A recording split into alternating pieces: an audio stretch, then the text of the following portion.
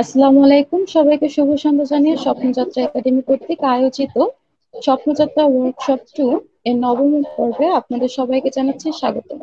ইতিমধ্যে যারা আমাদের লাইভ সেকশনটিতে যুক্ত হয়ে গিয়েছেন, তাদেরকে সকলকে অসংখ্য ধন্যবাদ। যে বিষয়টা নিয়ে আমরা আজকে আলোচনা করব, সে বিষয়টি অত্যন্ত গুরুত্বপূর্ণ। যারা গ্রাজুয়েশন করছেন বা কমপ্লিট করেছেন। তাই চলুন জেনে নেই আজকে দেরি না করে আমাদের আজকের বিষয়টি। আমাদের আজকের আলোচনার বিষয় হচ্ছে রেড ম্যাপ ফর গ্রাজুয়েট। পুরো সেশনটিতে জুড়ে সাথে থাকছি আমি সাদি আক্তার এবং আমার সহকর্মী পূজা রায় ধন্যবাদ সাদি আক্তার। গ্রাজুয়েট এর বাংলা প্রতিশব্দ স্নাতক। এর অর্থ থেকে বিশ্লেষণে পাওয়া যায়? ক্রমবিভক্ত হওয়া বা ক্রমে ক্রমে চালিয়ে যাওয়া। প্রত্যেক শিক্ষার্থীর কাছে গ্রাজুয়েশন একটি স্বপ্নের মতো। ব্যাপার। এবং সেটি একমাত্র সম্ভব নিজের পড়াশোনার মাধ্যমে। স্নাতক ডিগ্রি অর্জনের জন্য প্রয়োজন প্রচেষ্টা এবং তার পাশাপাশি সঠিক দিক নির্দেশনা। আমাদের মনে অনেকের মনে প্রশ্ন থাকে, আমি কি পারব নাকি পারব না? হ্যাঁ অবশ্যই সম্ভব।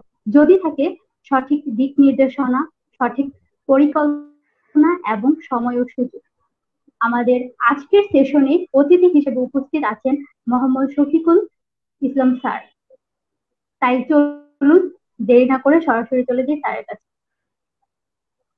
স্যার কেমন আছেন? আমি ভালো আছি। আপনি ভালো আছেন? জি স্যার ভালো আছি। আপনারা ভালো আছেন? তো স্যার হ্যাঁ স্যার ভালো আছি। জি স্যার ভালো আছি। স্যার আপনার পরিচয়টা স্যার আপনার কাছ থেকে শুনতে চাচ্ছিলাম। যদি আমাদেরকে বলতেন। আচ্ছা ধন্যবাদ। Thank you Puja Roy thank you Sadia Akter for having me with you this session আমি মোহাম্মদ শফিকুল আলম যেমনটি বলছিলেন আপনারা, আমি একজন charter accountant management accountant charter secretary এবং এলএলবি সো আমি আমার নিজের charter accountancy firm Shafiqul Alam and company সাকর principal and CEO হিসেবে কাজ করছি। এর আগে আমি গত দুই বছর ধরে আমার ফার্ম চলছে, আমাদের ফার্ম চলছে। এর আগে প্রায় ষোলো বছর আমি বিভিন্ন কর্পোরেটে চাকরি করেছি, যেমন সুপারস্টার গ্রুপে ফাইন্যান্স ডিরেক্টর কোম্পানি সেক্রেটারি ছিলাম। এর আগে আমি কল্লোল গ্রুপে ফাইন্যান্স ডিরেক্টর কোম্পানি সেক্রেটারি ছিলাম। এর আগে রহিম আফরোজে কাজ করেছি ওদের সিআইসি অ্যাগ্রো রহিম আফরোজের অ্যাগ্রো ফার্মে হেড অফ ফাইন্যান্স হিসেবে। ঠিক ইমিডিয়েট আগে আমার শান্তা হোল্ডিংস এর জিএম ফাইন্যান্স ছিলাম। এবং আমি সিএ করেছি একাশেমান কোম্পানি যেটি তখনকার Price Water Coopers associate firm ছিল। এখন যেটি আর্নেস্টি ইয়াং বাংলাদেশ। আর অবভিয়াসলি এর আগে আমি ইন্টার্ন করি একটা one of the biggest MNC in the world pharmaceutical Sanofi Aventis যেটি এখন স্যানোফি বাংলাদেশ নামে পরিচিত। আর এটি মোটামুটি আর যেটি কি যেমনটি বলছিলাম আজকে যারা শুনছিলেন ফাইন্যান্সের এবং অ্যাকাউন্টস ফাইন্যান্স ডিভিশনে কাজ করার জন্য যে ধরনের টেকনিক্যাল এবং একাডেমিক লেখাপড়া করতে হয় যেমন আমি I did my masters in accounting masters in international trade এর বাইরে এলএলবি করেছি এবং পলিটিক্যাল সায়েন্সে মাস্টার্স করেছি।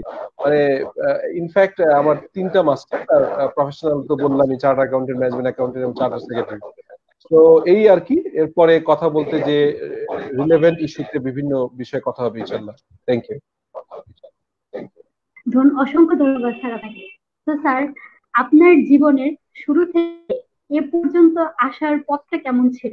স্যার সেই সম্পর্কে যদি আমাদের দর্শকদের সাথে শেয়ার করতেন। আপনার পথ চলার জার্নিটা কেমন পর্যন্ত?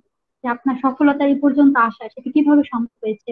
বা কার ইন্সপিরেশন ছিল আপনার সাফল্যের এ পর্যন্ত আসা? আচ্ছা thank you for asking this question আপনাদের মূলত বোধ হয় গ্রাজুয়েট যারা তাদের নিয়ে কাজ করেন তাই তো? আমি যদি ভুল না বুঝে থাকি। হ্যাঁ হ্যাঁ আচ্ছা তো ঠিক আছে, তাহলে সেভাবেই বলছি। সেটি হচ্ছে যে যে কোনো আমি আজ থেকে অলমোস্ট প্রায় বিশ বছর আগে যখন গ্রাজুয়েট করি, তখন গ্রাজুয়েশন করি, তখন কিন্তু আমাদের চিন্তায় ছিল, আমি খুব চিন্তা করতাম যে আইদার আমি বিমান বাহিনী, সেনাবাহিনী অথবা নৌবাহিনীতে জব করব আর তার এবং অথবা চার্টার অ্যাকাউন্টেন্সি পড়ব যে কোনো একটি। তো সেইভাবেই আমি স্কুল এবং কলেজ থেকেই স্কাউটিং বিএনসিসি করেছি ন্যাশনাল পর্যায়ে ডিবেট করেছি।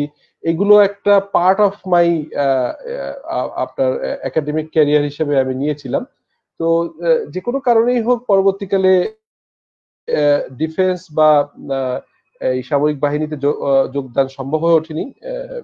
এবং পরবর্তীকালে আমার যে সেকেন্ড চয়েস ছিল অবভিয়াসলি চার্টার অ্যাকাউন্টিস সেটির জন্য পার্সু শুরু করি। এখানে আপনি যেমনটি বলছিলেন যে এত সহজ ছিল না বিষয়টি আমরা যখন সিএ পড়ার চিন্তা করেছি, আমার আপনি ইন্সপায়ারেশনের কথাও বলেছেন। আমার ইন্সপায়ারেশন অবভিয়াসলি আমার বাবা, উনি ঠিক এই বছরই আমাদেরকে ছেড়ে চলে গেছেন, গত জুনের নয় তারিখে। তো আমি ওনার আপনাদের কাছে দোয়া চাচ্ছি ওনার জন্য। আমার জীবনের যত চ্যালেঞ্জ এবং যত প্রাপ্তি, তার পিছনে যদি আমি বলি অবভিয়াসলি আমার বাবা, মা আমার বড় ভাই এবং আমার ওয়াইফ আমার ওয়াইফও আমাকে গত almost more than fifteen years ধরে যেভাবে সাপোর্ট করে আসছে, এটা আসলে মানে কোনোভাবেই অস্বীকার করার কোনো সুযোগ নাই এবং এখানে সবচেয়ে ইন্টারেস্টিং হচ্ছে যে আমি হয়তো এতটুকু আসতে পারতাম না যদি যাদের নাম বললাম তারা আমাকে সাপোর্ট না করতো। তো যেটি বলছিলাম যে আসলেই সহজ ছিল না। যখন আমরা সিএ পড়তে চাচ্ছি, আমার বাবা গভর্নমেন্ট অফিসার ছিলেন স্বাভাবিকভাবেই। তো আমার বাবা যখন গভর্নমেন্ট অফিসে রিটায়ারমেন্টে গেলেন, তখনই ঠিক আমার জাস্ট গ্রাজুয়েশন শেষ হয়। তো আমি সিএ পড়ার জন্যই মূলত চেষ্টা করছিলাম বাট সিএ করতে গেলে আপনারা জানেন যে আর্টিকেল আর্টিকেলশিপ করতে হয়, আপনাদের নিশ্চয়ই ধারণা আছে এবং আর্টিকেল আর্টিকেলশিপ খুব কম।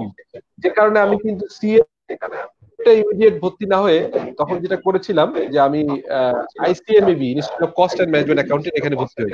আমার প্রাইমারি ইচ্ছা ছিল যে টাটা অ্যাকাউন্টেন্সি করব, কিন্তু যেহেতু ওখানে করতে গেলে আমার যে পরিমাণ দিতে হতো এবং জব করা যেত না। এবং সেক্ষেত্রে আমার আসলে এই এডুকেশনাল ফিটা নিজেকেই বিয়ার করতে হতো, যে কারণে আমি সিএমএ শুরু করি। এবং সিএমএ করার সঙ্গে সঙ্গে বিভিন্ন পার্ট টাইম জব করি এবং বিভিন্ন জায়গায় আপনার একাডেমিক পড়াই বিভিন্ন ইনস্টিটিউশনে আপনার বিভিন্ন কোচিং সেন্টারে ক্লাস নেই, বিভিন্ন প্রাইভেট ইউনিভার্সিটি সেশন নেই। এগুলো করে আমি আসলে খুব অল্প সময় সিএমএ করি later part of two thousand five তখন আমার মনে হলো, আমি কাজ শুরু করলাম স্যানিটি অ্যাভেন্টিস নামে একটা কোম্পানিতে তখন আমার মনে হলো যে now I have some money এই অ্যামাউন্ট থেকে আমি সিএ করতে পারি। তো তখন আমি আবার সিএ ফার্মে ফোন করি এবং একাশামান কোম্পানি যেটি বাংলাদেশের সবচেয়ে পুরাতন দুটি ফার্মের একটি উনিশশো তিপ্পান্ন সালের ফার্ম এবং আমাদের প্রিন্সিপাল ছিল বাংলাদেশ ইনস্টিটিউটের প্রতিষ্ঠাতা আবুল কাশেম স্যার। তো ওই ফার্ম থেকে কনজিকিউটিভ দুই পরীক্ষায় আমি সিএ কোয়ালিফাই করে ফেলি এবং আমার আর্টিকেলশিপ ছিল দুই বছরের। তো এই যে সিএ এবং সিএমএ করা এরপরে চার্টার সেক্রেটারি এবং এলএলবি করেছি এটি একটু পরে বলছি। এই সময়টা কিন্তু খুবই চ্যালেঞ্জিং ছিল। আপনারা যেভাবেই দেখেন না কেন, আমি যদি এভাবে বলার চেষ্টা করি, সেটি হচ্ছে যে আপনার এটি বললে অনেকে এখন বিশ্বাসযোগ্য মনে নাও হতে পারে আমি যখন পার্ট টাইম জব করতাম, সারাদিন পার্ট টাইম জব করে তারপরে আমি বিভিন্ন জায়গায় পড়াতাম এবং মোটামুটি রাত্রি আমি সুপার মার্কেটে থাকতাম ব্যাচেলার ইয়েতে। ইউনিভার্সিটি হল তো তখন আমাদের সেভাবেই আমি রাত দশটায় এসে মোটামুটি এশার নামাজ পড়ে পড়ালেখা শুরু করতাম মোস্টলি আপনার ফজর নামাজ পর্যন্ত পড়ে ঘুমিয়েছি। আমার স্টুডেন্ট লাইফে একটা সার্টেন টাইম অ্যাটলিস্ট সপ্তাহে পাঁচ দিন। এভাবে অলমোস্ট পাঁচ দিন মানে সপ্তাহে পাঁচ দিন এবং পাঁচ বছর আমাকে এই দিতে হয়েছে। এটি কি আসলে যদি বলেন চ্যালেঞ্জিং হ্যাঁ চ্যালেঞ্জিং যদি বলেন যে রিসেন্টলি একটা বই জি জি বই বুক রিভিউ করছিলাম আমার সেশন সেখানে বই আছে থিঙ্ক এন্ড গ্রো রিচ সেখানে হিল ত্রিশ বছর ধরে বই লিখেছেন। এবং ওখানে একটা ইন্টারেস্টিং বলছিলেন। উনি বলছিলেন যে যদি আপনি কিছু করতে চান স্টুডেন্ট বলছি আপনাদের গ্রাজুয়েশন করছেন আপনাকে আসলে উইশ করলে চলবে না। আপনাকে এটাকে ওয়ান করলে চলবে না। আপনাকে ডিজায়ার করতে হবে। ডিজায়ার আপনাকে বলা হবে হচ্ছে বার্নিং ডিজায়ার মানে আপনাকে পেতেই হবে। এটি যদি আপনার আপনার ডিজায়ার হয়, এভাবে যদি আপনার সব এই এই চ্যালেঞ্জগুলো ছিল। আমার মনে হয় যে আপনাদের সাথে কথা বলতে বললে আরও অনেক আমি ভলেন্টিয়ার্স হয়ে যাচ্ছে আপনারা আপনাদের এন্ড থেকে যেগুলো জানার ইচ্ছা বা কোশ্চেন নিতে পারেন, আমাদের মিলে আমরা আমরা আমি আশা করছি যে আপনি যারা স্টুডেন্টরা দেখছেন আমি যেহেতু বিভিন্ন পার্ট টাইম ফ্যাকাল্টি হিসেবে কাজ করেছি ইনস্টিটিউট অ্যাকাউন্টেন্ট সিএন ইনস্টিটিউটে করেছি আইসিএম এতে আইবিএতেও আমি পার্ট টাইম গেস্ট পেয়েছি এর বাইরে অ্যাটলিস্ট ছয় সাতটা প্রাইভেট ইউনিভার্সিটিতে পড়িয়েছি এবং ডিডি জব সহ অন্য জায়গায় এবং আমি একটা ইনস্টিটিউট আমাদের সাথে যেমন চার্টার অফিসার লিমিটেড নামে একটা আমি রেগুলার ক্লাস এখনও নেই। PICM institute of capital class আমি মনে হয় বেশি কোশ্চেন আজকে করেন। তরুণদের কাছ থেকে। আমার মনে হয় সেশনটা আরও ইন্টারেক্টিভ হবে। পূজা অবশ্যই স্যার হ্যাঁ স্যার অবশ্যই। অসংখ্য ধন্যবাদ। আসলে স্যার আমাদের সামনের পথ চলাতে আমাদের পরিবারের সাপোর্টটা খুবই ইম্পর্টেন্ট মা বাবার একদম। ইম্পর্টেন্ট তাহলে অবশ্যই আমরা আমাদের সাফল্যের বা লক্ষ্যে পৌঁছাতে পারব। আর হ্যাঁ, সবচেয়ে বড় কথা হলো যে আমাদের ইচ্ছা শক্তি প্রয়োজন। আমরা কোনো কাজই করি না কেন আমাদের যদি ইচ্ছা শক্তি হ্যাঁ ইচ্ছা শক্তি দৃঢ় থাকে তাহলে আমরা অবশ্যই পারব। যে কোনো প্রতিকূলতা আমাদের আটকে পারবে না আমরা পারব এক্স্যাক্টলি তো স্যার আমরা আজকের হ্যাঁ হ্যাঁ স্যার আমরা আজকের মূল পর্বে চলে যাচ্ছি। আমাদের আজকের টপিক যেটা রোড ম্যাপ ফর গ্রাজুয়েটস তো আজকের টপিকে আমার আপনার কাছে স্যার প্রথম প্রশ্ন থাকবে একজন ফ্রেশার্স যখন তার গ্রাজুয়েশন কমপ্লিট করে তখন তার সিভিতে কি কি থাকা উচিত কারিকুলাম ভিটাতে এক্স্যাক্টলি আসলে একজন ফ্রেশারকে একটু বোঝার চেষ্টা করতে হবে সিভি এবং রিজিউমের ভিতর ডিফারেন্সটা কি। আসলে জবের জন্য মোস্টলি আমরা রিজিউমি করে থাকি রিজিউমি করে থাকি। তো রিজিউমি যেহেতু আপনি ফ্রেশার বলছেন আসলে আপনি ফ্রেশার কিনা এটি প্রেজেন্টেশন অফ ইউর রিজিউমি এটা রিফ্লেক্ট করবে। আমি যদি এভাবে বলি যে আসলে কেউই ফ্রেশার না তাহলে কিন্তু যৌক্তিক হতে পারে। যেমন অনেকেই মনে করে যে আমি তো জব করিনি। তো সো আমরা যদি যেটা এগ হ্যাঁ। চিকেন ডিলেমা বলি যে মুরগি আগে নাকি ডিম আগে সো অনেকেই মনে করে যে আমি ফ্রেশার জব পাবো কি পাবো না। আসলে যেটা করতে হবে আমি এই বিষয়ে অ্যাটলিস্ট আমার মনে হয় যে পঞ্চাশ সেমিনার বিভিন্ন প্রাইভেট পাবলিক ইউনিভার্সিটি নিয়েছি। আমি খুব কনফিডেন্স সাথে কিছু কথা বলি, আমার মনে হয় আপনাদের এটা কাজে লাগতে পারে। সেটি হচ্ছে যে আপনারা যখন স্টুডেন্ট লাইফে থাকবেন, পড়ালেখা, আমি জ্যাকপার একটা কথা প্রায়শই বলি, যে আপনি যদি পিওর একাডেমিশিয়ান হন, ধরেন আপনি লেটস আপনি কোনো পাবলিক ইউনিভার্সিটিতে বিবিএ করছেন সো আপনি যদি লেটস অ্যাকাউন্টিং অথবা ম্যানেজমেন্ট অথবা ফাইন্যান্স যদি আপনি মনে করে থাকেন আপনার একাডেমিক রেজাল্ট আপনার ডেডিকেশন আপনার স্ট্রং ডিজায়ার থাকে যে আপনি ইউনিভার্সিটির টিচার হবেন লেকচারার হবেন তাহলে তো অবভিয়াসলি আপনি এক এক নম্বর, দুই নম্বর থাকবেন। দ্যাটস ওয়েল দ্যাটস ফাইন তাহলে পরবর্তীকালে আপনি টিচার হিসেবে জয়েন করলেন পিএইচডি করলেন। ওকে কিন্তু যদি আপনি দেখেন যে একটা সেমিস্টার যাওয়ার পরে আপনি এক, দুই নম্বরে নাই, তাহলে আমি বলব যে চার, পাঁচ নম্বরে থাকা আর পনেরো, বিশ নম্বরে থাকা একা। আমি তো একই কথা। তখন আমি বলব যে রাদার আপনার বেসিকটা ঠিক করা। যেমন আমার মনে হয় যে, এই যুগে এসে আপনার বেসিক কমিউনিকেশন স্কিল অনেকে কমিউনিকেশন স্কিল বললেই শুধু মনে করে ইংরেজি। ইংরেজি যে পার্ট এটা international language but communication skill communication skill হচ্ছে আপনি কথা বলছেন, আপনি প্রেজেন্ট করছেন, অন্যরা বুঝ- বুঝছে কিনা। MS word MS excel power point এগুলোকে দেওয়া উচিত। ইভেন আপনি এখনকার যারা বিজনেস গ্রাজুয়েট স্পেশালি আমি জানি না আপনাদের সংখ্যায় বিজনেস গ্রাজুয়েট সংখ্যায় বেশি হবে এইসব প্রোগ্রামে ইনভলভ থাকে, তাদের কিন্তু বিভিন্ন পার্ট টাইম জব করার সুযোগ চলে আসে। ধরেন ট্রেড ফেয়ার হয় বই মেলা হয় বিভিন্ন ধরনের ফেয়ার হয় আইটি ফেয়ার হয়, হয়।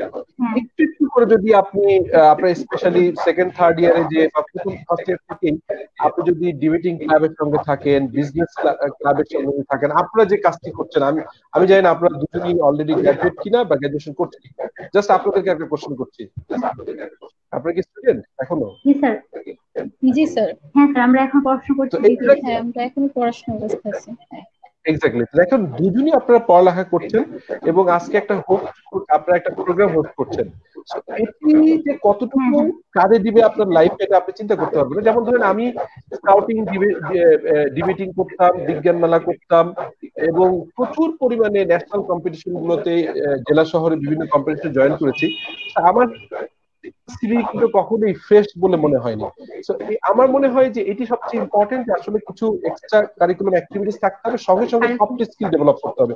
এখন কিন্তু দেখেন অনলাইনে প্রচুর কোর্স আছে। আপনি অ্যাকাউন্ট করেন সোশ্যাল মিডিয়াতে ফেসবুকে আপনার অ্যাকাউন্টটা জেনারেট করেন কানেক্টিভিটি তৈরি করেন এবং সিভিটা তৈরি করা বা রিজিউমি তৈরি করেন যে আপনি হয়তো প্র্যাকটিক্যালি কোনো অর্গানাইজেশনে কাজ করেন নাই কিন্তু পার্ট টাইম কাজের মাধ্যমে পাঁচ ছটা অর্গানাইজেশনে কাজ করেছেন এরকম একটা এক্সাম্পল দেন। এবং সেটা কিন্তু সুযোগ আছেই। তো এটি কিন্তু কোনোভাবেই অ্যাভয়েড করার সুযোগ নেই ধরেন আপনি যদি বেসিসের আমাদের আইটি ফার্মাসি ডিস্ট্রিবিউশন আমি সেই বেসিসের ওয়ান অফ দা আমাদের ফার্মের ওয়ান অফ দা স্পন্সর দিয়ে তো বেসিসের যখন ফেয়ার হয়, আমরা কিন্তু এবার বেশ কিছু স্টুডেন্টকে পার্ট হিসেবে নিয়েছি। তারপর আমরা বিভিন্ন জব ফেয়ারে জয়েন পার্টিসিপেট করি, তখন কিন্তু আমরা সার্কুলার দিয়ে স্টুডেন্ট নিই একটা জব ফেয়ার বা একটা বেসিসের ফেয়ার অথবা ট্রেড ফেয়ারে যখন একজন স্টুডেন্ট যে কাস্টমার ডিলিং করছে, এখানে কিন্তু রিয়েল কমিউনিকেশন স্কিলটা বাড়ছে।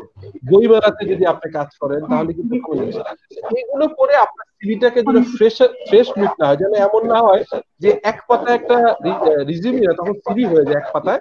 যে জাস্ট ফরম্যাট করা টেবিলের ভিতর লেখা থাকে, আমি শফিকুল আলম লেটসে আমি মাস্টার্স একটা ফরম্যাট গ্রাজুয়েশন, অনার্স, কোথা থেকে করলাম কত রেজাল্ট দেন হচ্ছে রেফারেন্স পার্সোনাল ডিটেল এটি কোনো ভালো রিজিউমের লক্ষণ হতে পারে না। রেজিউমে দুই পাতার হতে হবে ইন্টারেস্টিং এবং এখন যদি আপনি গুগলিং করেন, আপনি স্ট্যান্ডার্ড সিভি ফরম্যাট পাবেন। গ্লোবাল কোম্পানিগুলো আপনি বিভিন্ন গ্লোবাল কোম্পানি সিও দের সিভি পাবেন। রিজিউমি লেখা বা সিভি লেখা তিনটা প্রসেস আছে। আপনি একদম ফ্রেশার যারা বলছেন, তাদের জন্য একটা স্টাইল যে আপনার ক্যারিয়ার অবজেক্টিভ হবে, আপনি কোথায় যেতে চান গোল থাকতে হবে। যারা একটা মিড লেভেলে চলে যাবে, তাদের কিন্তু অ্যাচিভমেন্ট বেস হতে হবে। এই জিনিসটা আমাদের বুঝতে হবে সারা জীবনে কিন্তু ক্যারিয়ার অবজেক্টিভ দিয়ে বসে থাকে। Once you are CFO finance director তখন কিন্তু আপনার আর ক্যারিয়ার অবজেক্টিভ থাকবে না। তখন হচ্ছে অ্যাচিভমেন্ট থাকবে ফার্স্টে একজন ফ্রেশারে কিন্তু আবার থাকবে হচ্ছে আপনার অবজেক্টিভ কি করতে চান, কোথায় কন্টিনিউ এবং আপনি একদম ফ্রেশারেরও কিন্তু একটা অ্যাচিভমেন্টের কলাম থাকতে হবে। হ্যাঁ? তো জাস্ট এই জিনিসগুলো আমার মনে হয় যে ফলো করলে ভালো একটা রেজিউমে জি। অসংখ্য ধন্যবাদ স্যার অনেক ইম্পর্টেন্ট ইনফরমেটিভ কিছু কথা আমরা জানতে পারলাম যেটা আমাদের যারা গ্রাজুয়েটস হবে তাদের জন্য খুব ইম্পর্টেন্ট তো স্যার আপনার কাছে আমার সেকেন্ড কোশ্চেন থাকবে। যখন হ্যাঁ যখন স্যার মানে গ্রাজুয়েশন কমপ্লিট করার পর অনেক স্টুডেন্টসই বুঝতে না তারা প্রাইভেট জব করবে না গভর্নমেন্ট জব করবে। হ্যাঁ, তাদের জন্য স্যার আপনার পরামর্শ কি থাকবে? কোনটাকে প্রায়োরিটি দেওয়া গভর্নমেন্ট জব না প্রাইভেট জব এক্স্যাক্টলি এখানেও একটা দেখেন আমি অ্যাটলিস্ট গত আঠারো বছরে অ্যাটলিস্ট পাঁচশো ইন্টারভিউ করতে হয়েছে বিভিন্ন সময়। সো আমার কাছে আমি কিন্তু বোঝার চেষ্টা করি যে একজন প্রাইভেট কোম্পানি জব করতে চাচ্ছেন, কিন্তু ওনার ব্যাকআপ মাইন্ডে রয়ে গেছে ব্যাংকে জব করবেন অথবা বিসিএস দিবেন। আমি কিন্তু এই ধরনের লোকদের খুব একটা প্রাইভেট অর্গানাইজেশন নিতে চেষ্টা করি না। আসলে আপনার কিন্তু যে, ওই যে বললাম না যে থিঙ্ক অ্যান্ড গ্রোরিজ যে বইটা বললাম না পৃথিবীর সবচেয়ে বেশি বিক্রিত বই, প্রায় অফিসিয়াল আনঅফিসিয়াল মিলে ত্রিশ কোটি বই বিক্রি হয়েছে। এবং তিরিশ বছর ধরে এই বইটা লিখেছেন এবং এখানে ফাইভ হান্ড্রেড সাকসেসফুল লাইফে লোকের লাইফের উপর বইটা লেখা তো এটা গত তিরাশি বছর আগে লেখা বই এবং লেখক মারা গেছেন উনিশশো সত্তর সালে নেপোলিয়ন হিল। ওখানে উনি বলছিলেন দেখেন আপনাকে কিন্তু একটু স্পেসিফিক হইতে হবে। আপনার গোলটা স্পেসিফিক হইতে হবে। ওখানে একটা ছোট্ট গল্প আমি যদি আপনাদেরকে বলি আমার মনে স্টুডেন্টরা একদম ভালোভাবে নিতে পারবেন। ওখানে বার্নেস নামে Edwin Edwin Edwin C Barnes নামে এক ভদ্রলোক ছিলেন। তো ইউএস এর ঘটনা, এটি এটি সময়কাল হচ্ছে আপনার ধরেন উনিশশো সালের শুরুর দিকে। তো আজ থেকে একশো বিশ বছর, একশো বছর আগে। এডুইন সি বার্নেস তখন থাকতেন অনেক ইউএস এর একটা প্রত্যন্ত গ্রামে। আর আপনারা সবাই টমাস আলভা এডিসনের নাম শুনেছেন শুনেছেন নিশ্চয়ই? হ্যাঁ হ্যাঁ টমাস আলভা এডিসনের বিখ্যাত যে উনি কিন্তু ইলেকট্রিক লাইট লাইট উনি ইনভেনশন করেছেন ডিসকভার করেছিলেন এবং এটি কিন্তু এর বাইরে আমরা অনেকেই জানি না উনি দুই হাজার ইনভেন্টেড প্রোডাক্ট উনি দুই হাজারটা ইনভেন্টেড নিজের ওন ইনভেন্টেড প্রোডাক্ট এনিওয়ে এই বার্নেস এডুইনসি বার্নেস করে আরেকদিন গোল হলো যে আমি থমাস আলভা এডিসনের বিজনেস পার্টনার হব। উনি কিন্তু খুব একটা শিক্ষিত না, আমি বার্নেসের কথা বলছি। ওনার কোনো পয়সা নেই, টাকা পয়সা নেই। তো তখন উনি মনে মনে করছেন আমি বিজনেস পার্টনার হব কার? থমাস আলভা এডিসনের তো থমাস আলভা এডিসন থাকেন অরেঞ্জ নামে একটা New Jersey New Jersey Orange একটা সিটি সেখানে থাকে। সেখানে যাওয়ার ট্রেন ভাড়া পর্যন্ত নেই এবং উনি টমাস আলভা ছিলেন না। কিন্তু উনি রেলগাড়ির যে মাল টানাতে যেখানে ওই যে আপনার বিভিন্ন ধরনের প্রোডাক্ট টানে, এরকম একটা মাল মানে প্রোডাক্ট টানা একটা যে গাড়ি থাকে, যেগুলো ওপেন থাকে, আপনি দেখেছেন? লরি। এই লরিতে করে কয়েক রাত রাত নির্দিষ্ট কাটিয়ে টমাস আলভা এডিসনের অফিসের নিচে এসে বলছে যে, আমি তার দেখা করব। তখন টমাস আলভা এডিসনের অফিসের লোকজন বলছে যে স্যারের সঙ্গে দেখা করা যাবে না, কি কারণে বলতে হবে? উনি বলছে, আমি ওনার সঙ্গে দেখা করে বলব। ওনার যে দৃঢ়তা, ওনার যে কনফিডেন্স দেখে ফাইনালি টমাস আলভা এডিসনকে জানানো হয়েছে যে একজন লোক আপনার সাথে দেখা করতে চায়। উনি সুযোগ দিয়েছেন। তো যখন জিজ্ঞেস করা হয়েছে টমাস আলভা এডিসন বলছেন যে, তুমি কি জন্য দেখা করতে চাচ্ছ? বলছে, আমি আপনার বিজনেস পার্টনার হব। উনি একটু অবাক হয়ে গেছে। সাধারণত কেউ দেখা করে বলে, আপনি এখানে জব করব, চাকরি করব, এটা বলে। টমাস আলভা একটু অবাক হয়ে গেছেন এবং ওনার থেকে খুব মানে ধীরস্থিত ওনার কথা শুনেছেন। শোনার পরে এডিসন বলছেন যে, তোমার শিক্ষাগত যোগ্যতা প্লাস আমার এখানে লোকের প্রয়োজন নাই আর তোমার বিজনেস পার্টনার হওয়া অনেক পরের ব্যাপার বাট তুমি কষ্ট করে অনেক দূর থেকে এসছো। তুমি যদি আমার এখানে অ্যাটলিস্ট থাকতে পারবা, থাকা খাওয়ার খরচ আমি দিব আর তুমি আমার অফিস ক্লিনিং এ কাজ দিবা। মানে দেখেন এই যার কথা বলছিলাম এডুইনসি বার্নেস যিনি টমাস আলভা এডিসনের পার্টনার হবে চিন্তা করে এসেছেন, এসে আপনার জেনিটরের কাজ নিয়েছেন মানে অফিস পরিষ্কার করার কাজ নিয়েছেন। উনি কিন্তু ভুলেন নাই যে টমাস আলবেডিসন বিজনেস পার্টনার হবে। এরপরে পাঁচ বছর চলে গেছে টমাস আলবেডিসনের নতুন একটা প্রোডাক্ট নিয়েছে এডিফোন এডিফোন মানে হচ্ছে যে, এখন তো যে আমরা মোবাইল ফোন ইউজ করছি, তখন এরকম ফোন নেই। রেকর্ড কথা রেকর্ড করার একটা প্রোডাক্ট ছিল, নাম এডিফোন টমাস আলবিসন তার বেস্ট সেলসম্যানদেরকে ওনার রুমে মিটিং এ ডেকেছেন। ডেকে বলছেন যে, আমি নতুন একটা প্রোডাক্ট এনেছি প্রোডাক্টটা সেল করতে চাই। তো ওনারা বলছে যে, এটা স্যার আমাদের এনাফ প্রোডাক্ট আছে প্রোডাক্ট আমি আমি চলবে না, আমরা এটা ইন্টারেস্টেড না। উনি কনভিন্স করার চেষ্টা করেছে, ওনার সেলসম্যানটা খুব একটা ইন্টারেস্টেড না। হঠাৎ করে মিটিং শেষে এই এডুইন সি বার্নেস বলছে স্যার আমি শুনছিলাম তখন রিম ছিলেন এডিসনের আমি প্রোডাক্টটা সেল করতে চাই। পাঁচ বছর কাজ করেছে, কিছু ট্রাস্ট পাচ্ছে ইউ ট্রাই কিন্তু প্রথম বারোটা এডিফোন সেল করেন এবং পরবর্তীকালে উনি বার্ডিং ডিজায়ার উনি চাচ্ছিলেন যে যে কোনো ভাবে নিজেকে করতে। পরবর্তীকালে উনি বেস্ট সেলসম্যান হয়ে যান এডিসনের কোম্পানিতে এবং তার প্রায় তিন চার বছর এডিসন তাকে পুরো ইউএস এর জন্য এই এডিসনের প্রোডাক্টটা একটা ডিস্ট্রিবিউটর হিসেবে নিয়োগ করেন। তাহলে এখন আপনি যে কোশ্চেনটা করেছিলেন, আমার মনে একটা স্ট্রং ডিজায়ার থাকতে হবে ফ্রম দ্য গ্রাজুয়েশন স্টার্টে যে আমি বিসিএস অফিসার হব, আমি ব্যাংকে জব করব, নাকি আমি নাকি আমি প্রাইভেটে জব করব? নাকি আমি ফাইন্যান্স ডিপার্টমেন্টে চাকরি করব, আমি কি সিএফও হব, নাকি সিও হব? এটি যদি আপনি ফিক্স না করতে পারেন, তাহলে কিন্তু আপনার ভিতরে ডিলেমা কাজ করবে, আপনি কিন্তু কখনোই খুব ভালো করতে পারবেন না।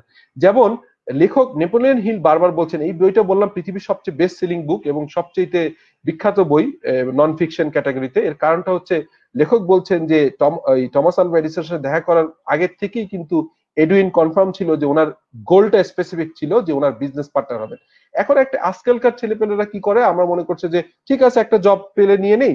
আমি বিসিএস এর ট্রাই করি, অথবা ব্যাংকের জন্য ট্রাই করি, অথবা বিজনেসের শুরু করি। আমি অনেকে এখন অনলাইনে কিছু ব্যবসা করে। সো দে তারা সবসময় একটা ডাইলেশনে থাকে, সবসময় ডিলেমায় থাকে, সবসময় একটা ফেনোমেনা কাজ করে এবং একটা অস্থির কাজ করে। আসলে আপনার লাইফের গোল যদি আপনি প্রপারলি সেট করতে না পারেন, তাহলে প্রয়োজনে আপনি কাউকে মেন্টর হিসেবে নেন।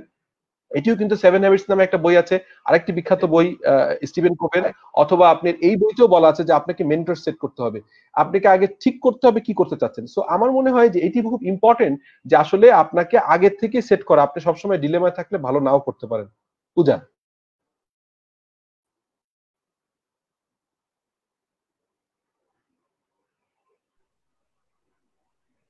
স্যার, অবশ্যই। স্যার, আমাদের অবশ্যই একদম একটা স্পেসিফিক গোল থাকতেই হবে। না হলে স্যার আমরা আমাদের বুঝতে পারব না যে আমরা আসলে কি করব ফিউচারে কি হতে চাই আসলে। তো এই জন্য আমার মনে হয় যে আমাদের সবারই হ্যাঁ, আমাদের সবারই একজন একটা স্পেসিফিক গোল থাকা উচিত। কি হতে চাই আমি কোন দিকে মুভ করতে চাই আমি কোন দিকে আমার লাইফটাকে সেট করতে চাই। এক্স্যাক্টলি তারপর স্যার যখন একজন ফ্রেশার গ্রাজুয়েশন কমপ্লিট করার পর সে সময়টা এবং তারপর সে যখন নিজেকে জবের জন্য প্রিপেয়ার করবে, ওই সময়টা, ওই দুইটা সময়ের মধ্যে থাকে। ওই সময় একজন কীভাবে নিজেকে প্রিপেয়ার করতে পারে? ও সময় যেটি বললাম যে, ওটি সংক্ষেপে বলি, সেটি হচ্ছে যখন আপনি আসলে আপনি গ্রাজুয়েশন কমপ্লিট করেছেন এবং জবের চেষ্টা করছেন, ধরলাম আমি তর্কের খাতিরে যে আপনি প্রাইভেট সেক্টরে জব করবেন। সো কি ঠিক করতে আপনি কি এইচআর হ্যাঁ। এ কাজ করবেন? ফাইন্যান্সে কাজ করবেন? নাকি সাপ্লাই চেইনে কাজ করবেন? নাকি সেলস এ করবেন? মার্কেটিং করবেন। নাকি আইটি তে করবেন? তো আপনি যদি নিজেকে সেট করে ফেলেন আপনার টেক আপনার ইয়ে অনুযায়ী তখন কিন্তু আপনাকে জিনিসটা স্পেসিফিক হয়ে যাবে এবং সেই রিলেটেড ধরেন আপনি বিভিন্ন জায়গায় সিভি ড্রপ করছেন বা আপনার রিজিউমি ড্রপ করছেন তো আপনি কোন কোন ইন্ডাস্ট্রিতে করছেন? আমার মনে হয় এখানে একটু পরিশ্রম করতে হবে। ধরেন আপনি পাঁচটা জায়গায় রিজিউমি ড্রপ করলেন। পাঁচটা অর্গানাইজেশন সম্পর্কে খোঁজ খবর রাখতে হবে। তারা কি বিজনেসে অপারেশন আছে এই হিসেবে জানতে হবে। তাদের যে পজিশন স্পেসিফিক ধরেন যদি আপনি অ্যাপ্লাই করেন ফাইন্যান্স এক্সিকিউটিভ তাহলে আপনাকে মাথায় রাখতে হবে একটা ফাইন্যান্স এক্সিকিউটিভের জব রোল কি হতে পারে? জব জেডি কি হতে পারে? সেই অনুযায়ী আপনি কি অ্যাকাউন্টিং এন্ট্রি দিতে হবে নাকি?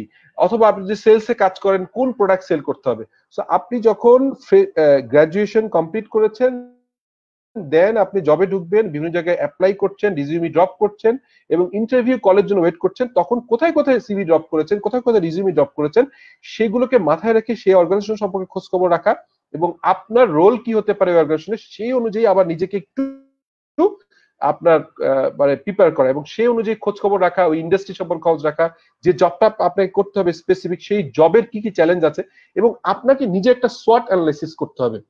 আমরা সবাই শর্ট জানি, মনে করা হয় শর্ট অ্যানালাইসিস মানে হচ্ছে বিজনেসের কিন্তু একটা ইন্ডিভিজুয়ালের শর্ট অ্যানালাইসিস থাকে। আপনার স্ট্রেন্থ পয়েন্ট কি কি? আপনার কি কি উইকনেস আছে? আপনি কি কি অপরচুনিটি আপনার সামনে আছে এবং থ্রেটটা কি? এইগুলোকে আপনি যদি দেখার চেষ্টা করেন যে আপনি যদি আপনার অপরচুনিটি গুলোকে ইউজ করতে পারেন এবং উইকনেস গুলোকে অপরচুনিটি হিসেবে কনভার্ট করে স্ট্রেংথে রূপান্তর করতে পারেন থ্রেড গুলোকে মিনিমাইজ করে আপনি যদি আসতে পারেন আপনার ক্যারিয়ার ভালো করতে পারবেন। ধন্যবাদ স্যার আপনার কাছ থেকে অনেক সুন্দর সুন্দর তথ্য জানতে পারলাম। আশা করি আরও অনেক সুন্দর তথ্য জানতে পারব। তো স্যার, আমার কাছে, আপনার কাছে একটা প্রশ্ন ছিল যে অনেকে অনার্স করে এক বিষয় ডিগ্রি আবার মাস্টার্স করে আরেকটা বিষয় নিয়ে। তো তাদের ক্ষেত্রে কি চাকরির ক্ষেত্রে কোনো প্রভাব ফেলবে? কি মনে করেন আপনি এই বিষয়টা? চমৎকার কোশ্চেন সাদিয়া। সেটি হচ্ছে যে আসলে ডিপেন্ড করে এমপ্লয়ার এবং অন্য জায়গায়। এটা ঠিক সবার জন্য একই রকম হবে না। বাট আমি যদি জেনারেলি বলি, সেটি হচ্ছে যে আসলে আমাদের দেশে এডুকেশন সিস্টেম আর সারা পৃথিবীর এডুকেশন সিস্টেম ডিফারেন্ট আপনি যদি প্রাইভেটে জব করেন, আপনি যদি একাডেমিশিয়ান না হন, আপনি যদি লেকচারার বা প্রফেসর না হন, তাহলে কিন্তু আপনার মাস্টার্স করার প্রয়োজনই নেই বা বাংলাদেশের কন্টেস্টে মাস্টার্স করতে হয়। সেক্ষেত্রে ধরেন আপনি যে সাবজেক্টে অনার্স করেছেন এনাফ পড়ালেখা করেছেন মাস্টার্স ওই সাবজেক্ট করলে ভালো আর একটু স্পেশালাইজেশন আসে, কিন্তু একটু ডিফারেন্ট সাবজেক্ট করলেও কিন্তু আপনার এটা কোনো ক্ষতি নেই। আমার মনে হয় অনেক ক্ষেত্রে এখনকার এমপ্লয়াররা এখনকার যারা এইচআর প্রফেশনাল তারা কিন্তু অনেক স্মার্ট ধরেন আপনি লেটসে আপনি অ্যাকাউন্টিং এ অনার্স করেছেন পরে মাস্টার্সটা করলেন মার্কেটিং এ। আমার মনে হয় এটি অনেক ক্ষেত্রে পজিটিভই হবে। হ্যাঁ যদি খুব বেশি, আবার যদি মনে করেন যে আপনি লেটসে মার্কেটিং এ মাস্টার্স করেছেন সো আপনার কাছে মনে হচ্ছে যে আপনার ক্যারিয়ারে লং টার্ম যাওয়ার জন্য আপনি এইচআর একটু করবেন। এটি করতে পারেন ক্ষতির কারণে বাট যদি শুরু থেকে নিজেকে খুব ডিফাইন করেন যে না, আমি আমার ক্যারিয়ারে ফাইন্যান্সের বাইরে যাবই না, আমি সবসময় ফাইন্যান্সে কাজ করব বা অ্যাকাউন্টিং এ কাজ করব, আমি সিএফও হব, একটা অর্গানাইজেশন ফাইন্যান্স ডিরেক্টর হব তাহলে আমার মনে হয় যে অনার্স এবং মাস্টার্স এর একই সাবজেক্ট থাকা উচিত। বাট কোনো কারণে যদি কেউ ডিফারেন্ট করে থাকে, আমি এটিকে পার্টিকুলারলি বলব, এটিকে কোনোভাবেই খারাপ দেখার সুযোগ নেই এবং এটাকে নলেজের একটা ডাইভার্সিফিকেশন হবে এবং জবে এটা খুব বেশি চ্যালেঞ্জিং হওয়ার কথা না। এখনকার, কারণ আমরা তো অনেকগুলো অর্গানাইজেশনে কাজ করেছি এবং গত প্রায় আঠারো বছর ধরেই দেখছি ইন্টারভিউ বোর্ডে এখনও এজ এ কনসালটেন্ট নিজের ফার্মের রিক্রুটমেন্ট করি। আমি, গত কয়েকদিনও আমি বেশ কিছু ফ্রেশারদের নিয়েছি আমার ফার্মের জন্য। এখানে একটু আপনাদেরকে, আপনাদের মাধ্যমে আমার শ্রোতা দর্শকদের বলতে চাই, সেটি হচ্ছে আমার একটা ইউটিউব চ্যানেল আছে প্রবাবলি অনলি ইউটিউব চ্যানেল যেখানে একাডেমিক বিষয়গুলো এবং আফটার গ্রাজুয়েশন মাস্টার্স করার পরে জব রিলেটেড টেকনিক্যাল স্কিলের উপরে আছে এটি দেখতে পারেন। এর বাইরে আমার একটা পেজ আছে। এইখানে কিন্তু আমি এগুলোকে ক্লিয়ার করি। আপনি যেমন বললেন যে আমার কাছে মনে হয় যে ভিন্ন ভিন্ন সাবজেক্টে গ্রাজুয়েশন এবং মাস্টার্স করলে কোনো ক্ষতির কারণে, বরং কোনো কোনো ক্ষেত্রে এটা কম্পেনসেটরি হতে পারে। থ্যাংক ইউ ধন্যবাদ স্যার। আরেকটা প্রশ্ন হচ্ছে যে এমএসসি করাটা কি খুবই দরকারি? মানে এটা কি খুবই গুরুত্বপূর্ণ? মানে মাস্টার্সটা আর কি হ্যাঁ। এটি এমএস করাটা তাই বলছেন তো? আচ্ছা আসলে আমার কাছে মনে হয় আমার কাছে মনে হয় আমার কাছে মনে হয় না ওই যে যেটি বলছিলাম যে আমাদের দেশের কন্টেস্টে কিন্তু একটু চিন্তা করা হয় যে অনার্স করেছে মাস্টার্স করে নাই। বাট দেখেন আপনার গ্রাজুয়েশন যদি এখনকার গ্রাজুয়েশন কিন্তু চার বছরের, তাই তো? তো গ্রাজুয়েশন হয় আপনি হচ্ছে বারো বছর পড়েছে দশ বছর, এগারো বছর পড়েছেন, এগারো আরও দুই বছর তেরো তেরো প্লাস হচ্ছে সতেরো বছর অলমোস্ট হচ্ছে আপনি অ্যাটলিস্ট সতেরো বছর পড়েছেন এর বাইরে যদি আপনার প্লে পড়েন ওগুলো পড়েন আগে যেটা ছিল এটা আরও different so at least twenty years পড়ার পরে আসলে জব স্টার্ট করার জন্য খুব দেরি হয়ে যায়। আমার সাজেশন আমি পার্টিকুলারলি ফিল করি যে আফটার গ্রাজুয়েশন জবে জয়েন করা উচিত। এরপরে জবের নিড অনুযায়ী আপনার এক্সিকিউটিভ এমবিএ হতে পারে ফুল টাইম এমবিএ হতে পারে কোনো প্রফেশনাল কোর্স হতে পারে তখন কিন্তু আপনি স্টার্ট করার পরে depend on the need of the job এবং জবের জন্য কি কি টেকনিক্যাল স্কিল ফার্দার প্রয়োজন কি কি সফট স্কিল প্রয়োজন তার উপরে কিন্তু করাটা বেটার অনেক ক্ষেত্রে। আর মাস্টার্স করলে আপনার আমার মনে হয় জবের সাথে সাথেও করা যেতে পারে। আচ্ছা আচ্ছা। স্যার আরেকটা জিনিস হচ্ছে সেটা খুবই ইম্পর্টেন্ট যে পাবলিকেশন আর হচ্ছে থিসিস এটা কতটা সাহায্য করতে পারবে মানে জবের ক্ষেত্রে? আসলে হচ্ছে যে কি পাবলিকেশন বা থিসিস যেটা আমরা বলি মানে এখানে একটা দুঃখের বিষয় সেটি হচ্ছে বাংলাদেশের বেস্ট ইউনিভার্সিটি আমি ইন্টারন্যাশনাল বিজনেসে ঢাকা ইউনিভার্সিটি থেকে ফার্স্ট ব্যাচে যেটা international trade and trade and business sorry international trade and বিজনেসের থেকে মাস্টার্স করেছি। আমরা যেটা হয়, আমাদের এখনকার সময় এসে আমরা অস্থির সময় পার করি, এখন ইন্টারনেটে সবকিছু পাওয়া যায়, আমরা অল্প কিছু সময় দিয়েই সবকিছু শেষ করতে চাই। তো থিসিস বলেন রিসার্চ বলেন আর ইন্টার্নশিপ রিপোর্ট বলেন, এটি মূলত মোস্ট অফ দ্য কেসে কপি পেস্ট করা হয়, সাধারণত ওভাবে খুব সময় দিয়ে কাজটা করা হয় না, এটি আসলে খুব বেশি হেল্প করে না। কিন্তু আপনি যদি খুব ফোকাস হন যে আপনি গ্রাজুয়েশন করার পরে আপনি ইন্টার্নশিপ করছেন। আর পিএইচডি বা অন্য কিছু করলে সেটা থিসিস বা ওটা তো ডিফারেন্ট জিনিস সেটি তো এখানে নিশ্চয়ই সেটি একটা ডিফারেন্ট ক্যারিয়ার সেখানে তো করতেই হবে। বাট আমি যদি বলি যে প্রাইভেট জব করবেন অথবা বিসিএস করবেন, সেক্ষেত্রে কিন্তু আপনার এই এই জিনিসটা যদি আপনাকে নিজেকে রিয়েলি জানতে চান, যে অর্গানাইজেশন ইন্টার্নশিপ করবেন সেই অর্গানাইজেশন আসলে সময় দেন, সেখান থেকে শিখেন এবং সেই শেখাটাকে অন জব ট্রেনিংটা অন জব লার্নিংটাই আপনি অ্যাকোমোডেট করেন। আপনি কিন্তু এখানে ওই কপি পেস্টে গেলে আসলে রিয়েল লার্নিংটা হয় না। তো এখানে এটা খুব বেশি জবে ইম্প্যাক্ট ফেলে না বাট আমার আমার কোশ্চেন হচ্ছে, আমার কথা হচ্ছে যে, যদি আপনি এই থিসিস বা এগুলোকে ইম্পর্টেন্স দেন, তাহলে এটা আপনাকে অবশ্যই হেল্প করবে।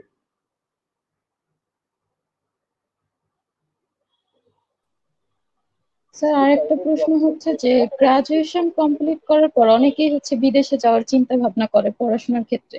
তো তাদের এই ধরনের চিন্তা ভাবনার জন্য তারা কীভাবে প্রিপারেশন নিতে পারে যে তারা গ্রাজুয়েশন কমপ্লিট করার পর বাইরে গিয়ে পড়াশোনা করবে? রাইট গুড কোশ্চেন এখানে দুটি হয়। একটা হচ্ছে যে যদি আপনি খুব ভালো স্টুডেন্ট হন আপনি কিন্তু স্কলারশিপ পেতে পারেন। সেক্ষেত্রে আমার মনে হয় যদি কেউ চিন্তা করে লেটস সে অনার্স এর চার বছরের বা বিবিএ এমবিএ বিবিএ চার বছর আমার মনে হয় যদি কেউ ফার্স্ট ইয়ার সেকেন্ড ইয়ারে ডিসিশন নিয়ে ফেলেন যদি বাইরে পড়বেন তাহলে তার প্রথম কাজ হবে হচ্ছে তার বেসিক ইংরেজি কমিউনিকেশন ইংলিশ কমিউনিকেশন ইমপ্রুভ করা, কারণ আপনাকে তাকে কিন্তু ইংরেজি টেস্টিং একটা প্রসেসের ভিতরে বেরোতে আইএলটিএস বা অন্য কোনো আরও কয়েকটা আছে যেটা জিমেট পেমেন্ট করতে হবে, এগুলো তাকে করতে হবে। সো আমার মনে হয় যে যদি কেউ ফান্ড পেয়ে ফুল স্কলারশিপ স্কলারশিপ নিয়ে বাইরে পড়তে চান, তাহলে তার একাডেমিক রেজাল্টটা ভালো হতে হবে। সঙ্গে সঙ্গে তার কিছু একটু আগে যে কথাটা বললেন, বিভিন্ন আর্টিকেল তার ইন্টারন্যাশনাল জার্নাল লোকাল জার্নালে পাবলিশ করতে হবে এবং এটি স্বীকৃত জার্নাল হতে হবে। যদি আপনি ফান্ড নিয়ে যেতে চান, যদি স্কলারশিপ নিতে চান, এটি, এটা তো জানেন, এটি করতে হবে। আর যদি কেউ মনে করেন যে, আমার একাডেমিক রেজাল্ট অত ভালো না, আমি ফুল ফান্ড পাবো না, তারপরেও সম্ভব অনেক সময় বাবার বাবা মায়ের ইনিশিয়াল কিছু ফান্ড ইউজ করে আপনারা করলেন, কিন্তু পরবর্তীকালে নিজে যে ওখানে পার্ট টাইম করে শেষ করলেন। সেক্ষেত্রেও কিন্তু মাস্ট ডুইং কাজ হচ্ছে, আপনাকে করতেই হবে, সেটি হচ্ছে ইংরেজি কমিউনিকেশন স্কিলটাকে ঠিক করতে হবে। কারণ আমরা জানি আইএলটিএস এ আপনার স্পিকিং রিডিং রাইটিং এবং হচ্ছে লিসেনিং এই পার্টটা কাজ করে, সেক্ষেত্রে আপনাকে এই যে আপনি একাডেমিক পড়াশোনা করছেন গ্রাজুয়েশন করছেন, এই সময়ের ভিতরে আপনাকে কিন্তু এই টোটাল আপনার ইংরেজি ডেভেলপমেন্ট এবং অনেক সময় ম্যাথমেটিক্স লাগে জিম্যাট বা জিএনই করতে, সেইগুলোকে আপনার বেসিক ম্যাথমেটিক্স গুলোকে আপনাকে স্ট্রং করতে হবে। সো এটি আমার মনে খুব জরুরি, এই প্রিপারেশন নেওয়া হ্যাঁ স্যার, অবশ্যই। অবশ্যই খুব মানে যারা বিদেশ যাওয়ার প্ল্যান আছে পড়াশোনা শেষ করে তাদের জন্য এটা খুবই ইম্পর্টেন্ট তারপর স্যার আপনার কাছে প্রশ্ন থাকবে যে অনেক যারা মানে গ্রাজুয়েশন কমপ্লিট করে তো তারা ভাবে যে আমার জব সেক্টর প্রবেশ করার জন্য আমার তার জন্য কিছু এক্সট্রা কারিকুলাম খুবই ইম্পর্টেন্ট তো স্যার আপনার কি মনে হয় যে জবের জন্য একটা ভালো জবের জন্য এক্সট্রা কারিকুলাম কতটা ইম্পর্টেন্ট অবশ্যই অবশ্যই। দেখেন যদি আপনি ইভেন আপনি দেশের বাইরেও যান হ্যাঁ আপনি যদি বাইরে লেখাপড়া করেন, দেখেন আজকে দেশের বাইরে গেলে আমাদের দেশের ছেলে মেয়েরা সাধারণত মোস্টলি যায় UK UK USA Canada Australia mostly তো এইসব জায়গায়ও কিন্তু এক্সট্রা অর্ডিনারি কারিকুলামকে খুব ভ্যালু দেওয়া হয় বিকজ একটা ব্যালেন্স গ্রোথ ধরেন, আপনার শরীরের একটা হাত যদি বড় হয় আর একটা হাত যদি ছোট হয়, আপনি কেউ বলবেন না যে একটা হাত খুব বেশি শক্তিশালী। বলা হবে যে আপনি কিছুটা বিকলঙ্গ, যদি লম্বা হয়ে থাকে, একটা হাতের থেকে আর একটা হাত বড় হয়ে গেল। সো আপনি যদি খালি একাডেমিক্যালি খুব সাউন্ড হলেন, সারাদিন লেখাপড়া নিয়ে থাকলেন, আর কোনো কিছু করতে চাইলেন না, এটি কিন্তু আপনার ব্যালেন্স গ্রোথটা করবে না। আপনার কিন্তু জীবন সম্পর্কে ধারণা নিতে হবে, আপনার প্র্যাকটিক্যাল ফিল্ড সম্পর্কে ধারণা নিতে হবে।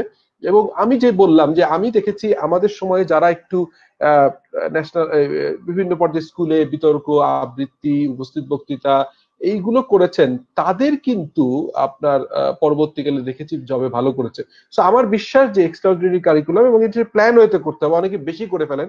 ধরেন একাডেমিক রেজাল্টের দিকে খেয়ালই রাখেন না ক্লাস করছে না, খুব বেশি করছে। সেটাকে একটা ট্রেড অফ ব্যালেন্স করতে হবে। আপনি একাডেমিক রেজাল্ট এবং পড়ালেখার টাইম এবং কিছু এক্সট্রাঅর্ডিনারি কাজ এক্সট্রা কারিকুলাম অ্যাক্টিভিটিস এর কাজ। এই দুটোর ভিতরে একটা ট্রেড অফ করে ব্যালেন্স করে একদম অফও করা যাবে না, আবার খুব বেশি এখানে, বেশি এঙ্গেজ হয়ে রেজাল্টটা খুব পোর করা যাবে না। জ্যাকমার কথা অনুযায়ী, উনি বলছিলেন যে, আমার ছেলে মেয়েকে আমি টপ হতে বলব না, এক দুই হতে বলব না, আবার লাস্ট হতে বলব না। একটা ক্লাসে যদি একশো স্টুডেন্ট থাকে, আমি চাইব আমার আমার স্টুডেন্ট আমার ছেলে মেয়েরা টোয়েন্টি থেকে থার্টি ফোর্টি ফিফটির ভিতরে থাকুক। সো উনি চাচ্ছেন না যে একদম একদম ব্যাকবেঞ্চার আবার একদম টপারও চাচ্ছেন না। বিকজ ওনার ধারণা টপাররা অনেক ক্ষেত্রে লাইফের ব্যালেন্সটা শিখে না। লাইফ সম্পর্কে ধারণাটা কম পায়। বুকিশ বেশি হয়ে থাকে। ওনার কথা থেকে হ্যাঁ, কথাটা বললাম আর কি। হ্যাঁ অবশ্যই। জি। যদি আপনি একাডেমিক না থাকে আপনি যদি জি, বলেন প্লিজ হ্যাঁ, আমরা তো জানি জব ইন্টারভিউ জবের জন্য একটা ভাইবা খুব ভাইটাল একটা রোল প্লে করে। তো স্যার অনেকে আমরা ভাইবা যাওয়ার আগে নার্ভাস হয়ে যে কি হবে যে আমাদের ভাইবা বোর্ডে যারা থাকবে তাদের সঠিক প্রশ্নের সব অ্যান্সার দিতে পারব কিনা। তো স্যার আমরা কি কি ধরনের ভুলগুলা বেশি করে থাকি? হয়ে থাকে যে ভাইবাতে এই ভুলগুলা পরিহার করলে যে সেটা আমাদের জন্য ভালো একটা পজিটিভ সাইন হিসেবে কাজ করবে। থ্যাংক ইউ একটু আগে একজন কোশ্চেন করেছেন আর নামটা মনে করছি না মোনালিসা বা এরকম না উনি একই কোশ্চেন করছিলেন যে ইন্টারভিউতে কি কি ভুল sorry Manisha তালুক right right thank you উনিও একই কোশ্চেন করছিলেন। দেখুন আমি যেমনটি বলছিলাম যে গত প্রায় পনেরো ষোলো বছর বা আরও বেশি সময় ধরে যে ইন্টারভিউ গুলো করছি আমার কাছে মনে হয় যে আমাদের কনফিডেন্সটা খুব কম থাকে। ফার্স্ট অফ অল কনফিডেন্স থাকতে হবে প্রিপারেশন থাকতে হবে। আপনার একদম গেস্টার পোস্টার যেটা আপনি বসবেন কীভাবে? অনেকে দেখি এসে টেবিলের উপর হাত তুলে বসে। এটা কিন্তু বেসিক এটিকেট একটা ব্যাপার আছে। আপনি কখনই আপনার কোনোই পর্যন্ত টেবিলের উপর রাখতে পারবেন না। ম্যাক্সিমাম রাখলে আপনি কবজি বা এই পর্যন্ত রাখতে পারবেন। সো ইট ইজ ইম্পর্টেন্ট যে টেবিলের উপর কীভাবে হাত রাখবেন। অনেকে কি করেন যে, তারা হয়তো দামি মোবাইল ফোন ইউজ করেন আমরা এটা নিয়ে অনেক অনেক জায়গায় আমরা ফানও করেছি। আমি অনেক বিভিন্ন জায়গায়। ইভেন আমি অনেকগুলো বড় গ্রুপে ইন্টারভিউর জন্য এক্সটার্নাল হিসেবে হায়ার মানে আমাকে হায়ার করা আমি যাই। ওইতে ফি দিয়ে আমি যাই। ওখানেও দেখি অনেকে ফোনটা এসে টেবিলের উপর রাখছে। আমার মনে হয় ইন্টারভিউর সময় ফোনটা অফ করে সুইচ অফ করে, অথবা যদি সাইলেন্ট মোডে রেখে পকেটে রাখা উচিত। হাতটা কোথায় রাখবে? উনি, ওনার বডি ল্যাঙ্গুয়েজ স্ট্রেট হওয়া, বসা, অনেকে বাঁকা হয়ে বসেন, অনেকে হেলে বসেন, এক। দ্বিতীয় কথা হচ্ছে যে, আমরা কিন্তু যদি জব ইন্টারভিউ ফলো করি, আপনি, আমি আপনাকে গ্যারান্টি দিয়ে বলতে পারি যে, যারা জব ইন্টারভিউ করে এইচআর এর লোকজন, তাদের সাথে আমার দীর্ঘদিন কাজ করার সুযোগ হয়েছে। আমি বাংলাদেশ এইচআর সোসাইটির এখন সিনিয়র মেম্বার এখানে ফেলো মেম্বার তো আমি ওনাদের সাথে অনেক দিন কাজ করেছি অন্যভাবে এবং ওনাদেরও বিভিন্ন সেশন আমি নিয়েছি। Account for non finance professional HR প্রফেশনালদের জন্য আমি বেশ কয়েকটা সেশন নিয়েছি। আমার একটা কমন আন্ডারস্ট্যান্ডিং হচ্ছে যে ঘুরিয়ে ফিরে নাইনটি পার্সেন্ট কোশ্চেন কমন থাকে এবং মোস্টলি প্রথমেই জানতে চাওয়া হয় আপনার সম্পর্কে। এখন কোশ্চেন যখন চাওয়া হয়, আমি দেখেছি, আমি অ্যাটলিস্ট টেন পার্সেন্ট সময় দেখেছি যখন আমি আমার নাম বলছি, আমি বলছি আমি যখন আমি যখন বলছি যে please describe something about yourself বা tell something about yourself আপনার নিজেকে কিছু বলেন। সো সিভিতে কিন্তু রিজিউমে কিন্তু আমার সবই লেখা আছে। আমার বলার চেষ্টা করা উচিত যে, আমার এক্সট্রা অর্ডিনারি কি আছে যেটি সিভিতে ইনকর্পোরেট করিনি এবং এটি কি অ্যাচিভমেন্ট বেস ইন্টারেস্টিং এবং খুব ব্রিফ বলতে হবে। এবং দেখা যায় যে, অনেকেই বলে I am mister Shafiqul Alam. হয়তো নিজের নাম সম্পর্কে মিস্টার বলছে। এই ধরনের গ্রস মিস্টেক করে এক, আর দ্বিতীয় কথা হচ্ছে যে রিজিউমিতে যেগুলো বলা আছে, এগুলো রিপিট করার দরকার নেই। আপনি খুব হামলি খুব হাম্বেল এবং খুব বিনয়ের সাথে বলবেন যে রিজিউমেতে দেয়া আছে, আপনারা নিশ্চয়ই দেখেছেন। রিজিউমের বাইরে আমি পার্সোনালি কিছু অনেকে যেমন পার্সোনাল ডিটেলসে খুব বেশি বলার চেষ্টা করে, বাবা কি করে, চাচা কি করে, ভাই বোন কি করে, এগুলো নিয়ে খুব বেশি। আসলে ওগুলো রিজিউমেতে যেটুকু আছে, যদি ফার্দার কোশ্চেন না করে, খুব বেশি তোলার দরকার নেই। বরং আপনি বলবেন যেটি রিজিউমে বলা নাই, আপনার ইন্টারেস্টিং আপনার একটা হবি থাকতে পারে, সেটি খুবই কাজে, যেটি কাজের জন্য, আপনার কারেন্ট কাজের জন্য রিলেট করে বলতে হবে লেটসে আপনি এখানে নেওয়া হচ্ছে, আপনার হচ্ছে লেটসে আপনি এইচআর এ কাজ করবেন। তো আপনি তখন রিলেট করবেন যে এইচআর রিলেটেড প্রচুর বই আপনি পড়েছেন, বিভিন্ন ওয়ার্ল্ড ফেমাস বই অ্যাটলিস্ট এইচআর এর বইগুলো পড়তে হবে। আপনার কি কি ভ্যালুয়েশন করেছেন? আপনি এই যে বললেন যে এক্সট্রা অর্ডিনারি কারিকুলামে কোথায় কোথায় কি করেছেন? যদি ফ্রেশার হন। আর যে এক্সপিরিয়েন্স হন প্রিভিয়াস জবের অ্যাচিভমেন্ট গুলোকে খুব স্পেসিফিক ভাবে বলতে হবে এবং মনে রাখতে হবে, একটা অ্যাচিভমেন্ট বললেন, এটি কিন্তু পরবর্তীকালে ওনারা আবারও কোশ্চেন করবেন। অতএব আপনি একটা বানিয়ে কিছু একটা বললে পরবর্তীকালে একটা লজ্জায় পড়ে যাবেন।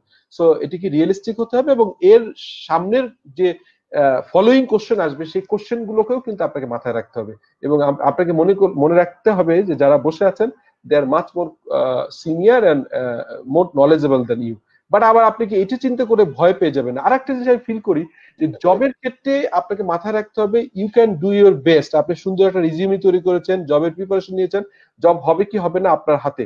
অথবা আপনি খুব বেশি পাজেল হলে লস আর একটা হচ্ছে এলিভেটর পিচ বলে একটা কথা আছে। আমি আমার সেশনে অনেকবার পড়িয়েছি, আমার ইউটিউব চ্যানেলে একটা ভিডিও আপলোড করব রেকর্ডিং হয়ে গেছে। এলিভেটর পিচ মানে হচ্ছে এখনকার ইন্টারভিউ বোর্ডগুলো কিন্তু আপনাকে প্রথম এক মিনিটের ভিতরে, আধা মিনিটে ইনফ্যাক্ট জাজ করে ফেলে। আপনি কীভাবে বসছেন, কীভাবে কথা বলছেন, আপনি কীভাবে আই কন্ট্যাক্ট করছেন কিনা, তিনজন লোক ইন্টারভিউ করছে, আপনি একজনের দিকে তাকে কথা বলছেন। এটিও কিন্তু গ্রস মিস্টেক আপনাকে ঘুরে ঘুরে তিনজনের দিকে চোখ রাখতে হবে, তিনজনের দিকে। এবং আপনাকে এই প্রথম থার্টি সেকেন্ড ইজ ইম্পর্টেন্ট যে আপনি কীভাবে এলিভেটর পিচ মানে কথাটা এরকম আসে যে আপনি একটা লিফটে যখন আসেন লেটসে আমার, আমি এখন এগারো তলায় আমার বাসা, আমার বাসার বারো তলায় থাকেন লেটসে একজন মিনিস্টার অথবা একটা খুব ব্যাংকের এমডি আমি ওঠার সময় তার সাথে দেখা হয়ে গেল। সো আমি এই লিফটের ভিতরে নিজেকে ইন্ট্রোডিউস করব কি হবে আমার স্টেনটা বলতে হবে এবং আমারকে নিজেকে সেলিং একটা প্রপোজিশন রাখতে হবে। সো এই জিনিসগুলো খুব গুছিয়ে নিতে হবে। এটি কিন্তু কমন এই কাজটাই আমরা করি না। এবং আপনি যদি ইংরেজিতে দেখেন যে আপনার যিনি প্রশ্নকর্তা, উনি ইংরেজিতে কথা বলছেন, আপনি ইংরেজিতে কথা বলবেন। উনি যদি বাংলায় বলে, আপনি বাংলায় কথা বলবেন। ইংরেজিতে বললে আপনি কোনোভাবে ভুল করা যাবে না। প্রিপারেশনটা প্রপার রাখতে হবে। বিকজ কোশ্চেন তো কমন আপনি যদি গুগলিং করেন, দেখবেন যে তিন, চারশো কমন কোশ্চেন পান এবং এগুলো একদমই কমন যে প্রথমেই থাকে, নিজের সম্পর্কে কিছু বলা থাকে, নিজের উইকনেস থাকে, নিজের স্ট্রেংথ সম্পর্কে বলা থাকে, কি অ্যাচিভমেন্ট আছে, কি ভ্যালুয়েশন করেছি এই জিনিসগুলো এবং আপনি এই অর্গানাইজেশন সম্পর্কে কতটুকু জানেন, যে অর্গানাইজেশনে অ্যাপ্লাই করছেন, আপনার জব সম্পর্কে কতটুকু জানেন। সো আপনি পার্টিকুলার জবের যে সার্কুলার ওখানে কি কি কাজ আপনার ছিল জব ডেসক্রিপশনটা আপনাকে দেখে যেতে হবে। সো এই জিনিসগুলো আপনি অনেকেই ভুল করে থাকে, এগুলো ভুল করা চলবে না। তা না হলে কিন্তু আপনি জবে ভালো করতে পারবেন না ইন্টারভিউতে ভালো করতে পারবেন না। জি স্যার এটা খুব ইম্পর্টেন্ট একটা পার্ট আমাদের সবার জন্য এই জানা থাকলে আমাদের আশা করি যে আমাদের প্রবলেম আমাদের কম ফেস করতে হবে। তো স্যার আপনি যে আপনি বললেন যে আমাদের রিজিউম বা সিভিতে যে বিষয়গুলো ওইগুলোর বাইরে আমাদের যেন আমরা আমাদের ইন্ট্রোডাকশনটা দিই তো স্যার আমরা কীভাবে আমাদের রিজিউম বা সিভিতে কারও অ্যাট্রাকটিভ করে তুলতে পারি? যে আমাদের যখন আমাদের সিভিতে ড্রপ তখন যে একজন দেখবে মানে সে কোন বিষয়টার প্রতি ফোকাস করলে যে আমাদের সিভিটা অ্যাট্রাকটিভ হতে হবে বেশি? সেটি হচ্ছে যে খুব বেশি বড় রিজিউমি করা যাবে না মানুষ বিরক্ত হয় এবং খুব বেশি এটিকে আমি লট কার্জন ইংরেজি বলি। লট কার্জন ইংরেজি মানে হচ্ছে সেই ক্লিশে ইংরেজি অনেক পুরনো সময়। এখনকার কিন্তু ইংরেজি কনভারসেশন স্মার্ট হতে হয় সো আপনি কন্টেম্পোরারি স্টাইলে লিখবেন এবং যে বিষয়টাকে হাই হাইলাইট করবেন, ওগুলো কি বোল্ড রাখতে হবে। সিভিটা দেখতে যেন সুন্দর হয়, অনেক চমৎকার ফরম্যাট থাকে, খুব বেশি লিটারেচার এখানে ইউজ করবেন না এবং সম্ভব হলে বোল্ড পয়েন্ট দিয়ে দিয়ে, ছোট ছোট পয়েন্ট আকারে আপনি দেখেন এবং এখানে প্রথমে তো অবভিয়াসলি একজন ফ্রেশারের জন্য অবভিয়াসলি ক্যারিয়ার অবজেক্টিভ সম্পর্কে দুই, তিন, চার লাইন থাকতে পারে। এরপরে হচ্ছে যে আপনি যে বললাম যে যেহেতু ফ্রেশার হন, তাহলে আপনি পার্ট টাইম কোথায় কোথায় জব করেছেন extra ordinary curriculum extra curriculum কোনো অ্যাক্টিভিটিস করেছেন কিনা এটি থাকল রেজাল্ট সম্পর্কে থাকল বাট রেজাল্টও কিন্তু খুব ডিটেইল দরকার নেই এটা আপনি কোশ্চেন করে জানো। মানে আপনার রিজিউমি দেখে যেন আগ্রহ, আগ্রহী হয়ে আরও কোশ্চেন করে, এই কোশ্চেনিং মাইন্ড তৈরি করে হবে। অনেকে সব ওপেন করে দিচ্ছে বাট এত লম্বা লিখছে যেটি আসলে পড়ে মজা পাওয়া যায় না এবং স্কিপ করছে। স্মার্ট হইতে হবে এবং আগ্রহজনী হয়। আপনি কি মাথায় রাখতে হবে যে আপনার রিজিউমি আপনার হয়ে কথা বলছে। আপনি সামনে দাঁড়িয়ে যেমন চমৎকার করে নিজেকে একটা এলিভেটেড পিস দেন, সুন্দর করে কথা বলেন, আপনার হেসে কথা বলেন, আপনি একটা গুড লুক আপ থাকে, আপনার, আপনাকে একটা ভালো গেস্টার থাকে পোস্টার থাকে, দেখতে ভালো লাগে ওয়েল ড্রেস আপ হয়ে আসেন, আপনার রিজিউমিটা খুব চমৎকার হতে হবে এবং এটি ফরম্যাটটা কিন্তু সার্চ করলেই পাবেন। আই হোপ যে এটি যদি নাও পেয়ে থাকেন, আমি আপনাদেরকে এই ভিডিও শেষে আপনাদের যে পেজে আমি কিছু লিংক দেওয়ার চেষ্টা করব।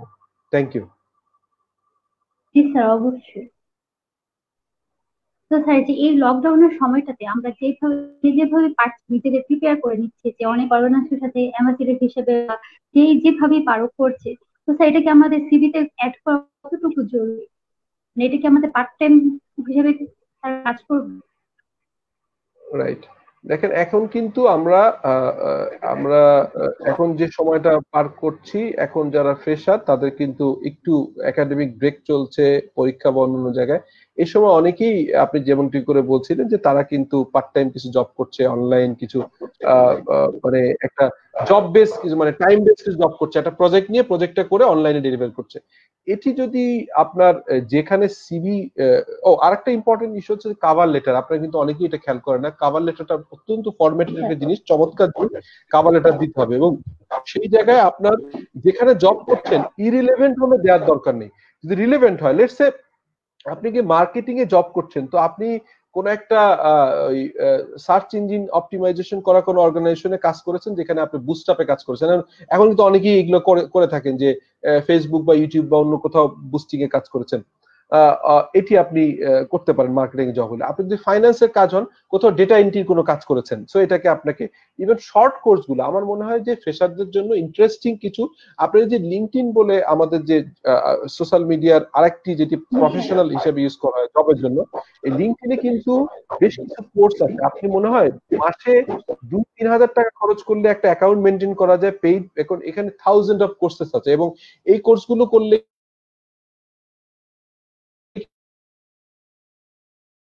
কিন্তু আপনি মানে পাঁচটা সাতটা ইম্পর্টেন্ট যদি based on the requirement of the job আপনি রিলেভেন্ট জবগুলোর জন্য রিলেভেন্ট ট্রেনিং এবং এগুলো যদি দেন আপনার সিভিটা এনরিচ হবে।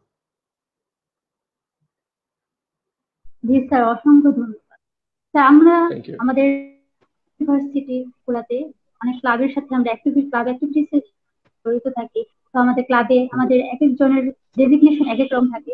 তো স্যার ওই ডেজিগনেশনগুলো আমাদের জব সেক্টরে কতটা প্রভাব কতটা ইফেক্ট ফেলতে পারে? অবশ্যই আপনি ধরেন ধরেন আপনি ক্লাবে যদি প্রেসিডেন্ট হন তাহলে বুঝতে হবে যে আপনি একটা অর্গানাইজেশনে ফুল লিড করতে পেরেছেন। এটি কিন্তু একটা ডিফারেন্ট এক্সপিরিয়েন্স আপনি যদি জেনারেল সেক্রেটারি হন বোঝা যাবে যে আপনি অফিস সেক্রেটারি হিসাবে কোম্পানি সেক্রেটারি হিসাবে এই ফাইলিং করা মিটিং অ্যারেঞ্জ করা এগুলোকে এক্সপার্ট আপনি যদি ফাইন্যান্স সেক্রেটারি হন তাহলে কিছুটা হলেও আপনার একটা এক্সপিরিয়েন্স আছে। ডেজিগনেশনগুলো খুব বেশি ইম্প্যাক্ট না পড়লেও কিছুটা তো ইম্প্যাক্ট অবভিয়াসলি আছে, আমি মনে করি।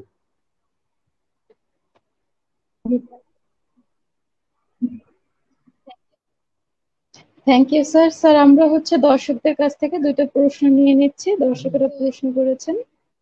তো এমডি শামীম আল রাশিদ প্রশ্ন করেছেন যে what are the step for completing CA after under graduating program can I complete my masters after completing CA খুব ইন্টারেস্টিং কোশ্চেন আপনারা জেনে খুশি হবেন যে সারা পৃথিবীতে charter accountancy as a profession এখনও কিন্তু ওয়ার্ল্ডের দুই নম্বর বোধ আছে টাফ কোর্স হিসেবে। যদিও আমি এটা বিশ্বাস করি না সেটা হচ্ছে পৃথিবীতে কঠিন বলে কিছু নাই। কারণ আমি আমি তো মনে করি আমি তো বলি যে আমি বললাম না কয়েকজন রাইটার আমার জীবনের খুব বেশি ইম্প্যাক্ট ফেলেছেন। তার ভিতরে নেপোলিয়ন হিল একজন স্টিভেন কোভে একজন। ওনারা বলছেন যে আসলে স্ট্রং ডিজায়ার থাকলে আসলে কিছুই অসম্ভব নয় ইভেন রিলিজিয়াস পার্টেও যদি দেখেন স্পিরিচুয়ালি যদি আপনি চান, আপনি অসম্ভব বলে কিছু নেই। উনি বলছিলেন যে হ্যাঁ আপনি এখন কিন্তু আগে আমাদের সময় আমরা যখন করেছি আজ থেকে আঠারো বিশ বছর আগে, তখন কিন্তু আমরা গ্রাজুয়েশন করার পরে সিএতে ঢুকতে পারতাম। তো আমাদের কিন্তু লাইফের একটা সময় চলে যেত। এখন ইন্টারেস্টিং হচ্ছে আপনি ও লেভেল এভেলেবেল করে অথবা এসএসসি এসএসসি করে আপনি যদি মিনিমাম ফোর ফোরে অ্যাভাব রেজাল্ট থাকে, আপনি কিন্তু সিএ ফার্মে আর্টিকেল চিপ করতে পারেন। আমাদের হয়তো তিন বছরের সময় ছিল বাট তাদের এটা চার বছর, এক বছর বেশি। বাট সার্টিফিকেট নেয়ার আগে আপনার গ্রাজুয়েশন কমপ্লিট করতে হবে মানে সিএ পাস করার সাথে সাথে। আর মাস্টার্স তো অবভিয়াসলি পরে করতে পারবেন, এটি কোনো সন্দেহ নেই। সো গ্রাজুয়েশন করার পরে চার্টার অ্যাকাউন্টেন্সি করতে পারেন ইভেন ইন্টারমিডিয়েটের পরেও আপনি কিন্তু শুরু করতে পারেন হ্যাভিং সেড দ্যাট যে সঙ্গে সঙ্গে আপনাকে গ্রাজুয়েশনটা চালাতে হবে। আর মাস্টার্স করাটা অপশনাল অনেক ক্ষেত্রে খুব বেশি রিকোয়ার্ড না। আমি অ্যাটলিস্ট আপনাদেরকে মানে আমার মাথায় আছে, আমি জানি, চিনি এরকম। যে অ্যাটলিস্ট বিশ তিরিশ জন প্রফেশনাল কে চিনি যারা হচ্ছে গ্রাজুয়েশন করে। আমি একটা ছোট্ট উদাহরণ দিই। আইপিডিসির নাম তো আপনারা শুনেছেন। একটা বাংলাদেশের one of the top non banking finance institute IPDC যে এখনকার এমডি আমি জাস্ট ওনার আমার খুব ক্লোজ মমিন ভাই। ওনার উইথ ডিউ রেসপেক্ট উনি একটা ইন্টারভিউ পড়ছিলাম। আমার খুব ব্যক্তিগতভাবে পরিচিত খুব ভালো মানুষ উনি। উনি বলছিলেন যে উনি কিন্তু একটা সার্টেন টাইম পর্যন্ত আইবিএ থেকে গ্রাজুয়েট করার পরে মাস্টার্স করেননি। হঠাৎ করে ওনার কোন একটা কারণে উনি পরে মাস্টার্সটা করেছেন। সো রিসেন্টলি বাংলাদেশ ব্যাংকে সার্কুলার আসছে যে কোনো ব্যাংকিং অথবা নন ব্যাংকিং ফাইন্যান্সিয়াল ইনস্টিটিউটের এমডি হতে গেলে মাস্টার্স লাগবে। আগে কিন্তু দেখেন, ব্যাংকের এমডি বাট ম্যান্ডেটরি ছিল না। এই রিসেন্টলি গত তিন চার বছর আগে ম্যান্ডেটরি করা তখন উনি বলছেন যে, আমি লাকিলি মাস্টার্সটা করে ফেলছিলাম আদারওয়াইজ কিন্তু আমি এমডি হওয়ার যোগ্যতা হারাতাম। তার মানে একটা ব্যাংকের এমডি একটা অর্গানাইজেশন একটা ব্যাংক মানে কি? একটা একটা ইন্ডাস্ট্রি ধরেন এক একটা ব্যাংকের চার পাঁচশো ব্রাঞ্চ থাকে।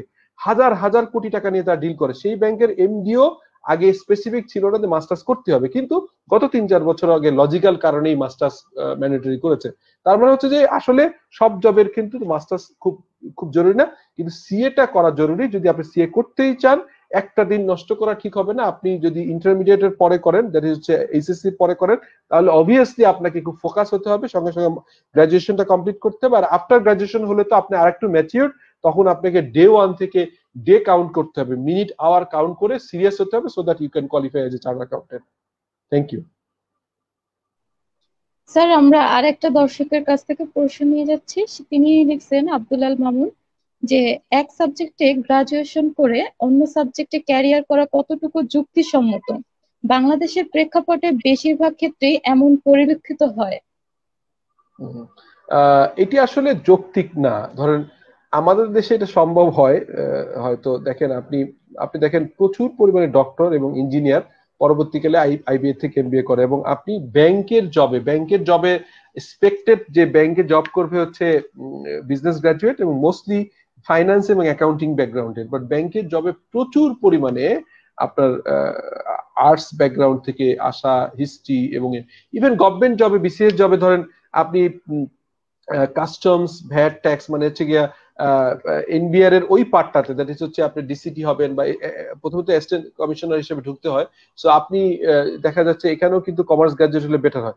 তো ইরেলিভেন্ট ব্যাকগ্রাউন্ড থেকে ডিফারেন্ট জব করার প্রচুর মানে বাংলাদেশে উদাহরণ আছে। বাট দেশের বাইরে কিন্তু মাস্টার্স করাটা আমি যেটা বলছিলাম জরুরি না, এবং স্পেসিফিক জায়গায় স্পেশালাইজেশন না থাকলে জব পাওয়াটা কঠিন। আমাদের ক্ষেত্রে এটি একটি একটি ব্যতিক্রম এবং দেখা যায় যে হচ্ছে যে অনেক ডিফারেন্ট বাট আমি পার্সোনালি বিলিভ করি যে আপনি যে সাবজেক্টে পড়েছেন সেই সাবজেক্টে জব করলে আপনার ক্যারিয়ারটা আরও বেটার হবে এবং আস্তে আস্তে হয়তো যেহেতু প্রচুর পরিমাণে স্পেশালাইজেশন পাওয়া যাচ্ছে আনএমপ্লয়মেন্ট বেড়ে গেছে স্পেশালি আফটার কোভিড এখন কিন্তু রিলিভেন্ট এডুকেশন ব্যাকগ্রাউন্ড থেকে লোকজন খুঁজবে তখন কিন্তু আপনাদের অপরচুনিটি লস হবে। তো আমার মনে হয় যে যে সেক্টরে পড়েছেন সেই সেক্টরে জব করাটা অধিক সেফ এবং আপনার ফিউচার ক্যারিয়ারের জন্য ভালো হবে। ধন্যবাদ sir.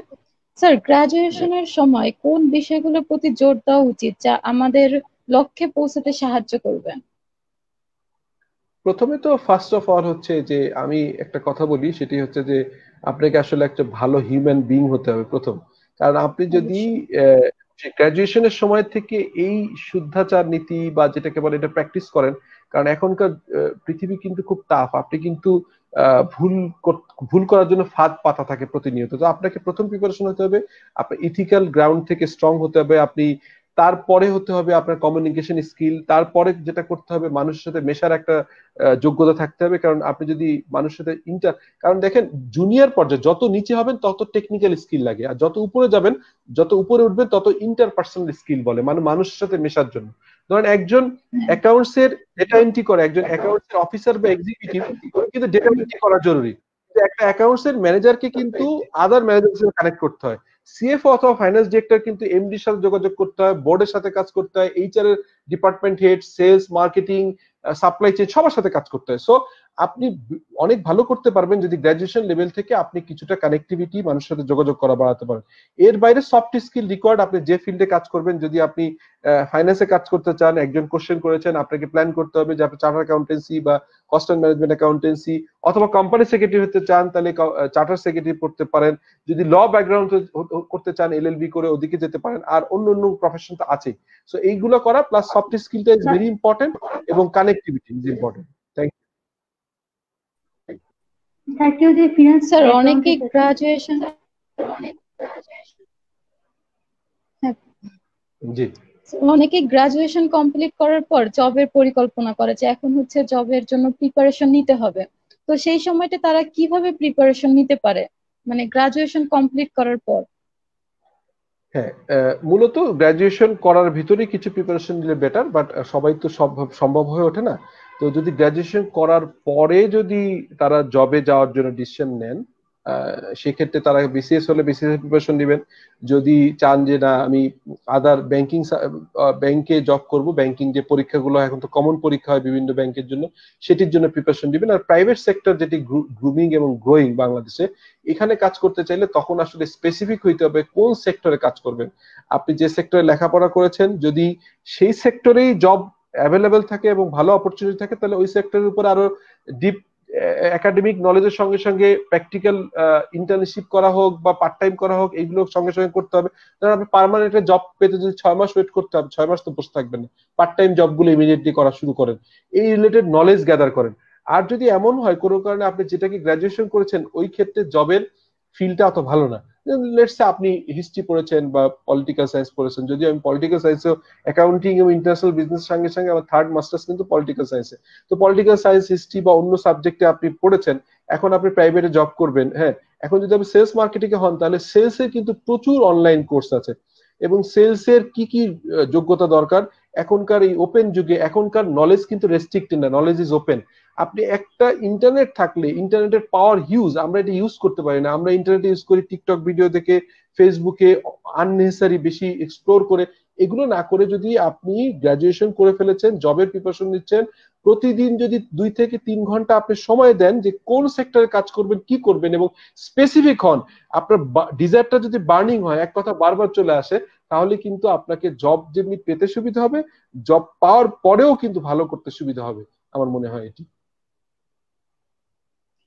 Thank you sir sir আমরা আরেকটা কোশ্চেন নিচ্ছি। একটা আপু লিখছেন যে আমি স্ট্যাটিসে অনার্স করছি কিন্তু ব্যাংকিং এ ইন্টারেস্ট তাহলে এখন আমাকে কি করণীয়? মাস্টার্স মাস্টার্সে ফিনান্সে করাটা কি বেটার হবে?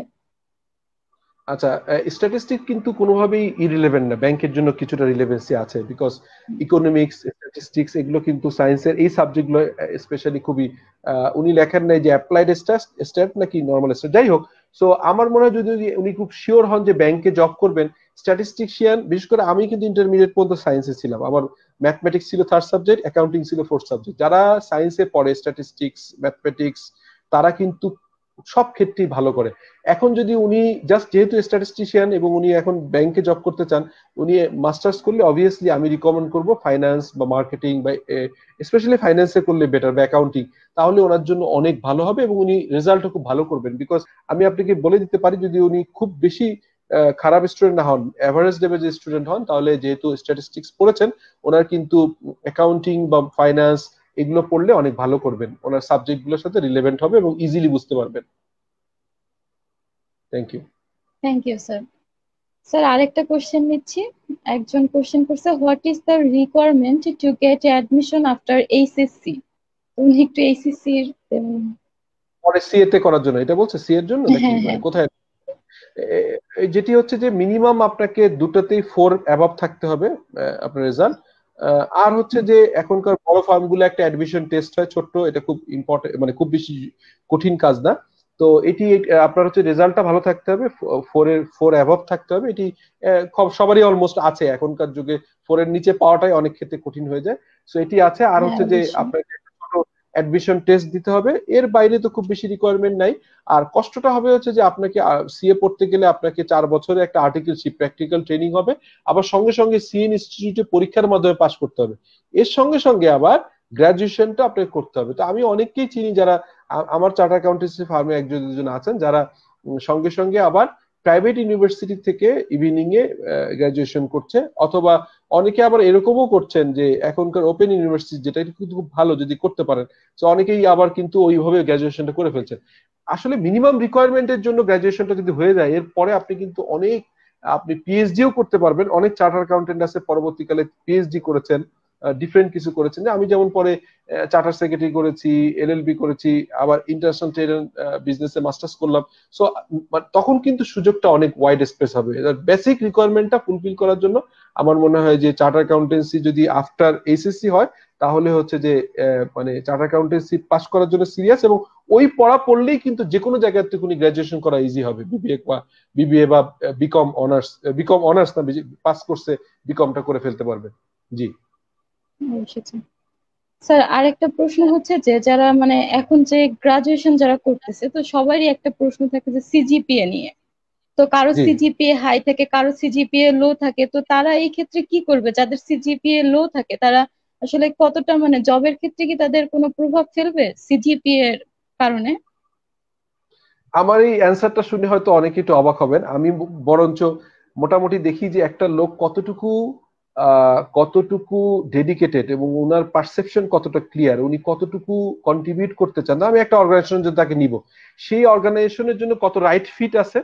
রেদার অনেক সময় কম সিজিপিএ থাকা বা একদম কম হলে তো বেসিক্যালি বোঝা যায় উনি খুব খারাপ স্টুডেন্ট বাট যদি বোঝা যায় ওনার কমিউনিকেশন স্কিল ভালো বেসিক ওনাকে বোঝা যাচ্ছে ইন্টেলেকচুয়াল রেদার একটু খারাপ সিজিপিএ সেরকম লোককে আমি খুঁজি কারণ অনেক বেশি ভালো সিজিপিএ কিন্তু আপনার ইন্টেলেকচুয়াল লেভেলে কম, আপনার যদি কনসেপচুয়ালি আপনি বইয়ের বাইরে বুঝেন না, জানেন না অনেক ক্ষেত্রে চ্যালেঞ্জিং হয়ে যায়। খুব বেশি খারাপ সিজিপি হলে আসলে এটি একটু অড হয় বাট অ্যাভারেজ সিজিপিএ বা অ্যাভাব অ্যাভারেজ সিজিপিএ সঙ্গে সঙ্গে যদি আপনি একটা ব্যালেন্স গ্রোথের ভিতর থেকে আসেন, আপনার যদি দেখা যায় ইন্টেলেকচুয়াল লেভেলে হাই আপনার এনথুজিয়াম আছে মানে আপনার আগ্রহ আছে আপনি যদি আগ্রহী না হন তাহলে তো ভালো করতে পারবেন না। সো আগ্রহটা is very important rather than CGP so CGPA নিয়ে ওয়ারিড হওয়ার কিছু নাই।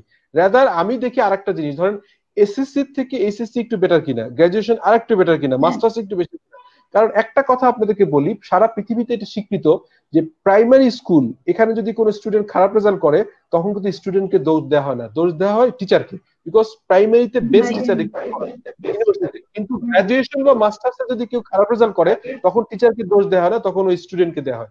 তার মানে তখন আপনি ম্যাচিউর নিজেরটা নিজে বুঝতে হবে। সো গ্রাজুয়ালি যারা ভালো রেজাল্ট করে আমি দেখি তাদের ক্যারিয়ারে অনেক ভালো হয়। জি। স্যার গ্রাজুয়েটে মানে কতটুক মানে সিজিপি থাকাটা ইম্পর্টেন্ট মানে কত পয়েন্টের মধ্যে? আমার মনে হয় যে আউট অফ যদি ফোর সিজিপি স্কেল হয় around three is I think is good হ্যাঁ মানে more than three is good right R five হলে তো স্বাভাবিকভাবে মতো জি। ধন্যবাদ স্যার আচ্ছা আমরা লাইভ একদম শেষ মুহূর্তে এসে পড়েছি। তো স্যার আপনার কাছে আমার শেষ একটা কোশ্চেন থাকবে। স্যার যারা ফিনান্স ব্যাকগ্রাউন্ড থেকে বিবিএ কমপ্লিট করে এমবিএ করে তাদের জন্য জব সেক্টর কোন সেক্টরটা অ্যাপ্রোপ্রিয়েট আচ্ছা। তা আমি কোশ্চেন অ্যান্সার করব। আপনাদের কাছে ছোট্ট কোশ্চেন সাদিয়া এবং পূজা আপনারা দুজনে একাডেমিক মানে কোন সাবজেক্টে পড়ছেন? জাস্ট আমার কিউরিওসিটি থেকে যেতে জানা আর কি। স্যার আমি হচ্ছে ফার্মাসি সাবজেক্ট থেকে পড়ছি। ফার্মাসি মানে আমি পড়তেছি ফার্মাসি সাবজেক্টে জি স্যার। কোন ইউনিভার্সিটি ওয়ালজি ইউনিভার্সিটি ওকে পূজা? স্যার আমি জগন্নাথ ইউনিভার্সিটির ফিনান্স ডিপার্টমেন্ট বিবিএ করছি ফিনান্স আচ্ছা আচ্ছা। সো রাইট গুড গুড যেমন ধরেন আমি ফাইন্যান্সের স্পেসিফিক কোশ্চেনটা বলি ফাইন্যান্সে যদি হয় এটা জাস্ট আমার জানার একটা আগ্রহ ছিল। ফাইন্যান্সে হলে অবভিয়াসলি তাদের অনেক মানে এখনকার সময় কিন্তু আমি অ্যাটলিস্ট যদি আগামী টোয়েন্টি ইয়ার্স কে ফোরকাস্ট করি, কারণ পৃথিবীতে খুব বেশি পরিবর্তন হচ্ছে। দেখেন চেঞ্জটা কিন্তু খুব অ্যাব্রাপ্ট হচ্ছে, খুবই ডিস্ট্রাকটিভ হচ্ছে। ধরেন, আপনি একটা সিম্পল উদাহরণ দেই প্রথম জেনারেশন এডিসনের গল্প বলছিলাম। এডিসন যে বাল্বটা তৈরি করেছিলেন জিএলএস এই বাল্বটা একশো বছরের বেশি লাইফ টাইম ছিল। এরপর দেখেন আপনাদের নিশ্চয়ই মনে আছে, আজ থেকে মাত্র দশ বছর আগে আর একটা লাইট আসছিল, যেটাকে বলা হয়েছে সিএফএল ওই সিএফএলটা মাত্র দশ বছরের ভিতরে অবসলিট হয়ে গেছে। এখন কিন্তু এলইডি চলে আসছে। এরপরে এলইডি বাল্ব আপনি পাবেন না, দেখা যাবে যে চিপের ভিতর লাইট হয়ে গেছে। পৃথিবী কিন্তু ফাস্টার গতিতে আগাচ্ছে। অত বেশি প্রেডিকশন করা যায় না বাট স্টিল আমি এটুকু বলতে পারি, আগামী টোয়েন্টি ইয়ার্স ইনশাল্লাহ বিজনেস যেভাবে গ্রো করছে প্রাইভেট সেক্টর যেভাবে গ্রো করছে ফাইন্যান্সের হিউজ অপরচুনিটি ফাইন্যান্স অ্যাকাউন্টসে তো যদি ব্যাংকিং ইন্ডাস্ট্রি ধরেন, বা ব্যাংকিং রিলেটেড মার্চেন্ট ব্যাংক আছে ইস্যু ম্যানেজার আছে নন ব্যাংকিং ফাইন্যান্সিয়াল ইনস্টিটিউশন আছে সো ফাইন্যান্সে হিউজ পসিবিলিটি এবং সেইখানেও কিন্তু ডিভিশন আছে। আপনি কি জেনারেল ব্যাংকিং এ যাবেন? নাকি আপনি রিস্ক ম্যানেজমেন্টে যাবেন, নাকি হচ্ছে ব্যাংকের ফাইন্যান্সে কাজ করবেন মানে অ্যাকাউন্টিং ব্যাকগ্রাউন্ডে কাজ করবেন, এগুলো ইম্পর্টেন্ট তো সেক্ষেত্রে দেখা যায় যে সিএফএ ইজ ভেরি ইম্পর্টেন্ট যারা ফাইন্যান্সে কাজ করে সিএফএ করতে পারে রিক্সের উপরে ডিগ্রি আছে ইভেন এই জিনিসগুলো আমার কাছে মনে হয় যে তারা ফাইন্যান্সে কাজ করলে ফাইন্যান্সে বিবিএ এমবিএ অথবা বিবিএ করা থাকলে, এই রিলেটেড যদি টেকনিক্যাল নলেজটা ভালো থাকে, চেষ্টা করে এবং এর পরবর্তীকালে জব করতে করতে কিছু প্রফেশনাল ডিগ্রি করে, যেমন ব্যাংকে গেলে ব্যাংকিং ইনস্টিটিউট থেকে একটা ডিগ্রি নেওয়া বা এই কাজগুলো করলে আমার মনে হয় ক্যারিয়ার অনেক ভালো করতে পারবে। জি স্যার অসংখ্য ধন্যবাদ। স্যার আমরা আপনাকে পেয়ে খুব আনন্দিত যে অনেক ভালো কিছু ইনফরমেশন আমাদের ক্যারিয়ারের জন্য আমরা পেয়েছি। তো স্যার একটা কোশ্চেন শেষ কোশ্চেন থাকবে যে আমাদের জব সেক্টর প্রবেশ করার আগে আমাদের একটা ইন্টার্নশিপ করতে হয়। ওই ইন্টার্নশিপ আমাদের কতটা ইফেক্ট ফেলে জব জবের ক্ষেত্রে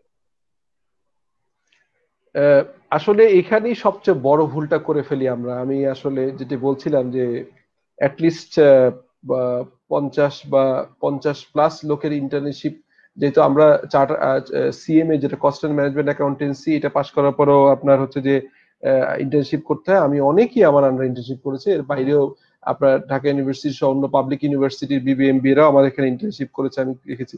ইন্টার্নশিপটা খুব ইম্পর্টেন্ট কারণ কোর্সের ভিতরেই রাখা হয়েছে যাতে প্র্যাকটিক্যাল এক্সপোজার হয়।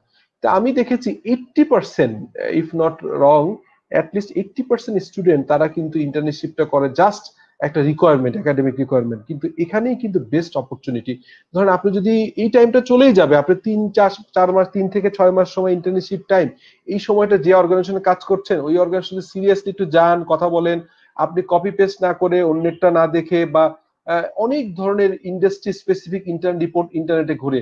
নীলক্ষেতে প্রচুর ইন্টার্নশিপ রিপোর্ট পাওয়া যায়। এগুলো না করে যদি আপনি স্ট্রাকচারটা বেসিক ফলো করেন গাইডলাইনটা ফলো করেন, কিন্তু আপনি যদি চেষ্টা করেন যে আমাদের যে যে জবে আপনি থাকবেন, সেই সেক্টর ইন্টার্নশিপ করলেন ধরেন আপনি যদি ব্যাংকে কাজ করতে চান ব্যাংকে ইন্টার্নশিপ নেন ম্যানুফ্যাকচারিং অর্গানাইজেশন ম্যানুফ্যাকচারিং নেন ইভেন আপনি যদি ইচ্ছা থাকে মাল্টিনেশনাল কোম্পানিতে করবেন, যেমন সাদিয়া সরি সাদিয়া যেমন ও ফার্মাসি পড়ছে আমি যদি ভুল না করি মাল্টিন্যাশনাল কোম্পানিগুলোতে স্পেশালি ফার্মাতে ওর হিউজ ক্যারিয়ার অপরচুনিটি ও যদি চিন্তা করে আমি ইন্টার্নশিপ করব একটা এখনও বাংলাদেশে অ্যাটলিস্ট পাঁচ সাতটা বিগ এমএনসি গ্লোবাল কোম্পানি আছে সেখানে যদি ইন্টার্নশিপ করে তার জব রিলেটেড হবে।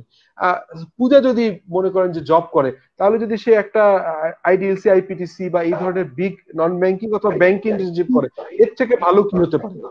এবং ওই ওই ইন্টার্নশিপ পিরিয়ডের ভিতরে এত সিরিয়াস হবে যে এমপ্লয়ার ধরে নিবে যে এরকম সিরিয়াস মেয়ে তো আমি পাইনি, এরকম সিরিয়াস সিরিয়াস ছেলে তো আমি পাইনি। তো আপনাকে রাখার জন্য চেষ্টা করবে। সো ইন্টার্নশিপটা ইজ ইম্পর্টেন্ট যদি আপনি ইম্পর্টেন্স দেন। আদারওয়াইজ যদি শুধু রিকোয়ারমেন্ট হয় আপনার ডিগ্রির জন্য, তাহলে তো এটি আসলে খুব একটা কাজে দিবে না। Thank you so much sir sir আমরা আমাদের লাইভ সেশন শেষ পর্যায়ে তো স্যার আপনি আমাদের দর্শকদের উদ্দেশ্যে আমাদের একাডেমির উদ্দেশ্যে যদি কিছু বলতেন। এই স্বপ্নযাত্রা একাডেমি কতদিন যাবত শুরু করেছেন আপনারা? স্যার বেশ কিছুদিন হয়ে গেছে। অনেকদিন ধরেই আমাদের অর্গানাইজেশন চলছে। আপনারা আপনারাই লিড করেন। কয়েকজন মানে যারা গ্রাজুয়েশন করছেন এরাই করছেন নাকি? জি স্যার জি স্যার থ্যাংক ইউ আমি এই নামটা দেখে প্রথম হচ্ছে যে অনলি ফর দ্য নেম আমাকে যখন আপনাদের কোন এক কলিগ বা ইয়ে আমাকে প্রথম ফেসবুকে লক করে, অনেকদিন যাবত যোগাযোগ চলছিল, সময় দিতে পারছিলাম না ফাইনালি আজকে টাইম হলো। নামটা আমাকে খুবই টেনেছে তো আসলেই আপনারা স্বপ্নবান তরুণ, আপনারা স্বপ্ন নিয়ে শুরু করেছেন এবং আপনাদের লাইফ এই যে আমি কিন্তু লিডারশিপ যে বলে না লিডারশিপ লিডারশিপের কিন্তু আপনাদের মধ্যে কারোর মধ্যে অন করা আছে মিউট করে দেন, শব্দটা আসবে সরি লাস্ট দুই মিনিট আমি সময় নিচ্ছি। এবং প্রবাবলি এই সেশনের সবচেয়ে ইম্পর্টেন্ট কথাগুলো এখন বলব। সেটি হচ্ছে যে আপনারা যে উদ্যোগটা নিয়েছেন, আমি ভেরি মাচ অ্যাগ্রি ভবিষ্যতেও যদি দেখি যে কোনো একটা জায়গায় পার্টিকুলারলি নলেজ বাড়ানোর জন্য কোনো ফ্রি সেশন ক্লাস আমি ক্লাস নিতে পারি, আপনারা চাইলে, এবং এর জন্য কোনো পয়সা আমি নিব না, আমি আমি কিন্তু মানে মোট কথা হচ্ছে মানুষের লাইফে ট্রান্সফর্ম করার জন্য সে সবচেয়ে ভালো লিডার হবে। লিডারশিপের সংজ্ঞা চেঞ্জ হয়েছে। একসময় ছিল লিডার মানে হচ্ছে জব ডান বাই আদার্স অন্যদের কাজ করে, কাজ করাতে পারা, পারাকে লিডার বলে। লিডার সে সময় বলা হতো যে, ভালো লিডারকে সে অন্যদের দিয়ে কাজ করিয়ে নিবে। কিন্তু এখন লিডারশিপ বলছে যে to do work with other এবং to motivate the team member এবং আপনি কত মানুষের লাইফে ইনফ্লুয়েন্স করতে পারছেন, আপনাকে দেখে আপনার কাজের মাধ্যমে কতটুকু লোক পজিটিভলি কাজ করছে how you can influence the others এটা একটা প্রথম। দ্বিতীয় কথা হচ্ছে যে আপনি কতটুকু ক্যাটালিস্টের ভূমিকা পালন করছে। সাদিয়া বেটার বলতে পারবে, আমি জানি না পূজা যদি সায়েন্স পড়ছে কিনা। ক্যাটালিস্ট কথা হচ্ছে অনুঘটক। আপনি লাইফে কিছু কিছু অনুঘটক আছে, নিজে হয়তো আগুন জ্বলে না, কিন্তু আগুন জ্বলাতে সহায়তা করে। আপনি একটা মানুষের লাইফকে যদি ট্রান্সফর্ম করতে চান তাহলে কিন্তু আপনাকে ক্যাটালিস্টের ভূমিকা নিতে হবে। সো আমার ভালো লাগে যে আজকে আপনারা আঠারো বিশ বছরের তরুণ তরুণী, আপনারা স্বপ্ন যাত্রা নামে একটা শুরু করেছেন এবং মানুষের লাইফে ক্যাটালিস্টের ভূমিকা নিতে চাচ্ছেন। আপনারা মানুষের লাইফকে ইনফ্লুয়েন্স করার চেষ্টা করছেন এবং আমাদের মধ্যে যারা কম্পারেটিভলি আপনাদের থেকে বয়োজ্যেষ্ঠ বা এক্সপিরিয়েন্স তাদেরকে কানেক্ট করে এই যে একটা ভলেন্টারি সার্ভিস দিচ্ছেন I wish I wish for the organisation এবং I will be with you ইনশাল্লাহ এবং আপনারা এটা বড় হয়, এটা আশা করি এবং সবার জন্য উদ্দেশ্য মানুষ হিসেবে প্রথমে বেস্ট হন। আপনি যদি ভালো মানুষ হতে হয়, আপনাকে জাজ করা হবে আপনি কতটা ভালো সন্তান। আমার বাবা মারা গেছেন, আমি জানি দুই বছর ওনার সাথে হসপিটালে আমি কাজ করেছি। প্যারেন্টিং আমি একটা বই লিখেছি লকডাউনে মানুষ যেখানে সময় নষ্ট করেছে, যেহেতু আমার কাজ কম ছিল, আমি কিন্তু প্রচুর লেখাপড়া করেছি। একটা বই লিখেছি প্যারেন্টিং কি বলে ইসলাম? একটা বই লিখেছি। এর বাইরে আমার অ্যাকাউন্টিং স্ট্যান্ডার্ডের উপর দুইটা বই আছে এবং স্টক মার্কেট একটা বই আছে। এই বইগুলো প্রচুর সময় দিই এখনও আমি প্রতিদিন অ্যাটলিস্ট তিন থেকে চার ঘণ্টা পড়ি এবং আপনাকে বুঝতে হবে যে আপনি কত ভালো সন্তান, কত ভালো পিতা, কত ভালো হাজবেন্ড অথবা ওয়াইফ কত ভালো হচ্ছে কলিগ এটি ইম্পর্টেন্ট এবং সেটি যদি আপনি করতে পারেন জবে আপনার ভালো না করার কোনো কারণ নেই because you if you are positive মাইন্ডসেটের মানুষ, আপনি যদি ডিজায়ার থাকে, আপনি যদি নিজেকে কিছু করার তাড়না থাকে তাহলে আপনাকে কেউ আটকাতে পারবেন আই হোপ যে স্বপ্ন যাত্রা যারা আপনারা স্বপ্নবান তরুণ এবং যারা এইখানে ফলো করে যারা এই গ্রুপে কাজ করে গ্রুপের সাথে আছেন প্রত্যেকেই লাইফে অনেক ভালো করবেন। আশা করি আরও একটা নতুন সেশনে বা কোনো একটা নতুন দিনে নতুন কিছু কথা নিয়ে আপনাদের দেখা হবে। সবাইকে ধন্যবাদ। অবশ্যই স্যার। হ্যাঁ, আপনার তো ব্যস্ত সময়ের মাঝে আমাদের মূল্যবান সময় দিয়েছেন আমরা খুবই আনন্দিত। আমাদের দর্শকদের উদ্দেশ্যে বলছি, যারা আপনারা এতক্ষণ ধরে আমাদের সাথে যুক্ত ছিলেন, আমাদের কথা শুনেছেন, আমাদের স্যারের খুব গুরুত্বপূর্ণ পরামর্শ শুনেছেন, তাদের সবকে অসংখ্য ধন্যবাদ। এবং আমরা আশা করছি যে আপনাদের খুব গুরুত্বপূর্ণ এবং ইনফরমেটিভ একটি সেশন উপহার দিতে পেরেছি এবং ভবিষ্যৎ আপনাদের সকলকে আমাদের পাশে এবং এখানে আজকের মতো আমাদের সেশনটি ধন্যবাদ সকলকে। Thank you bye bye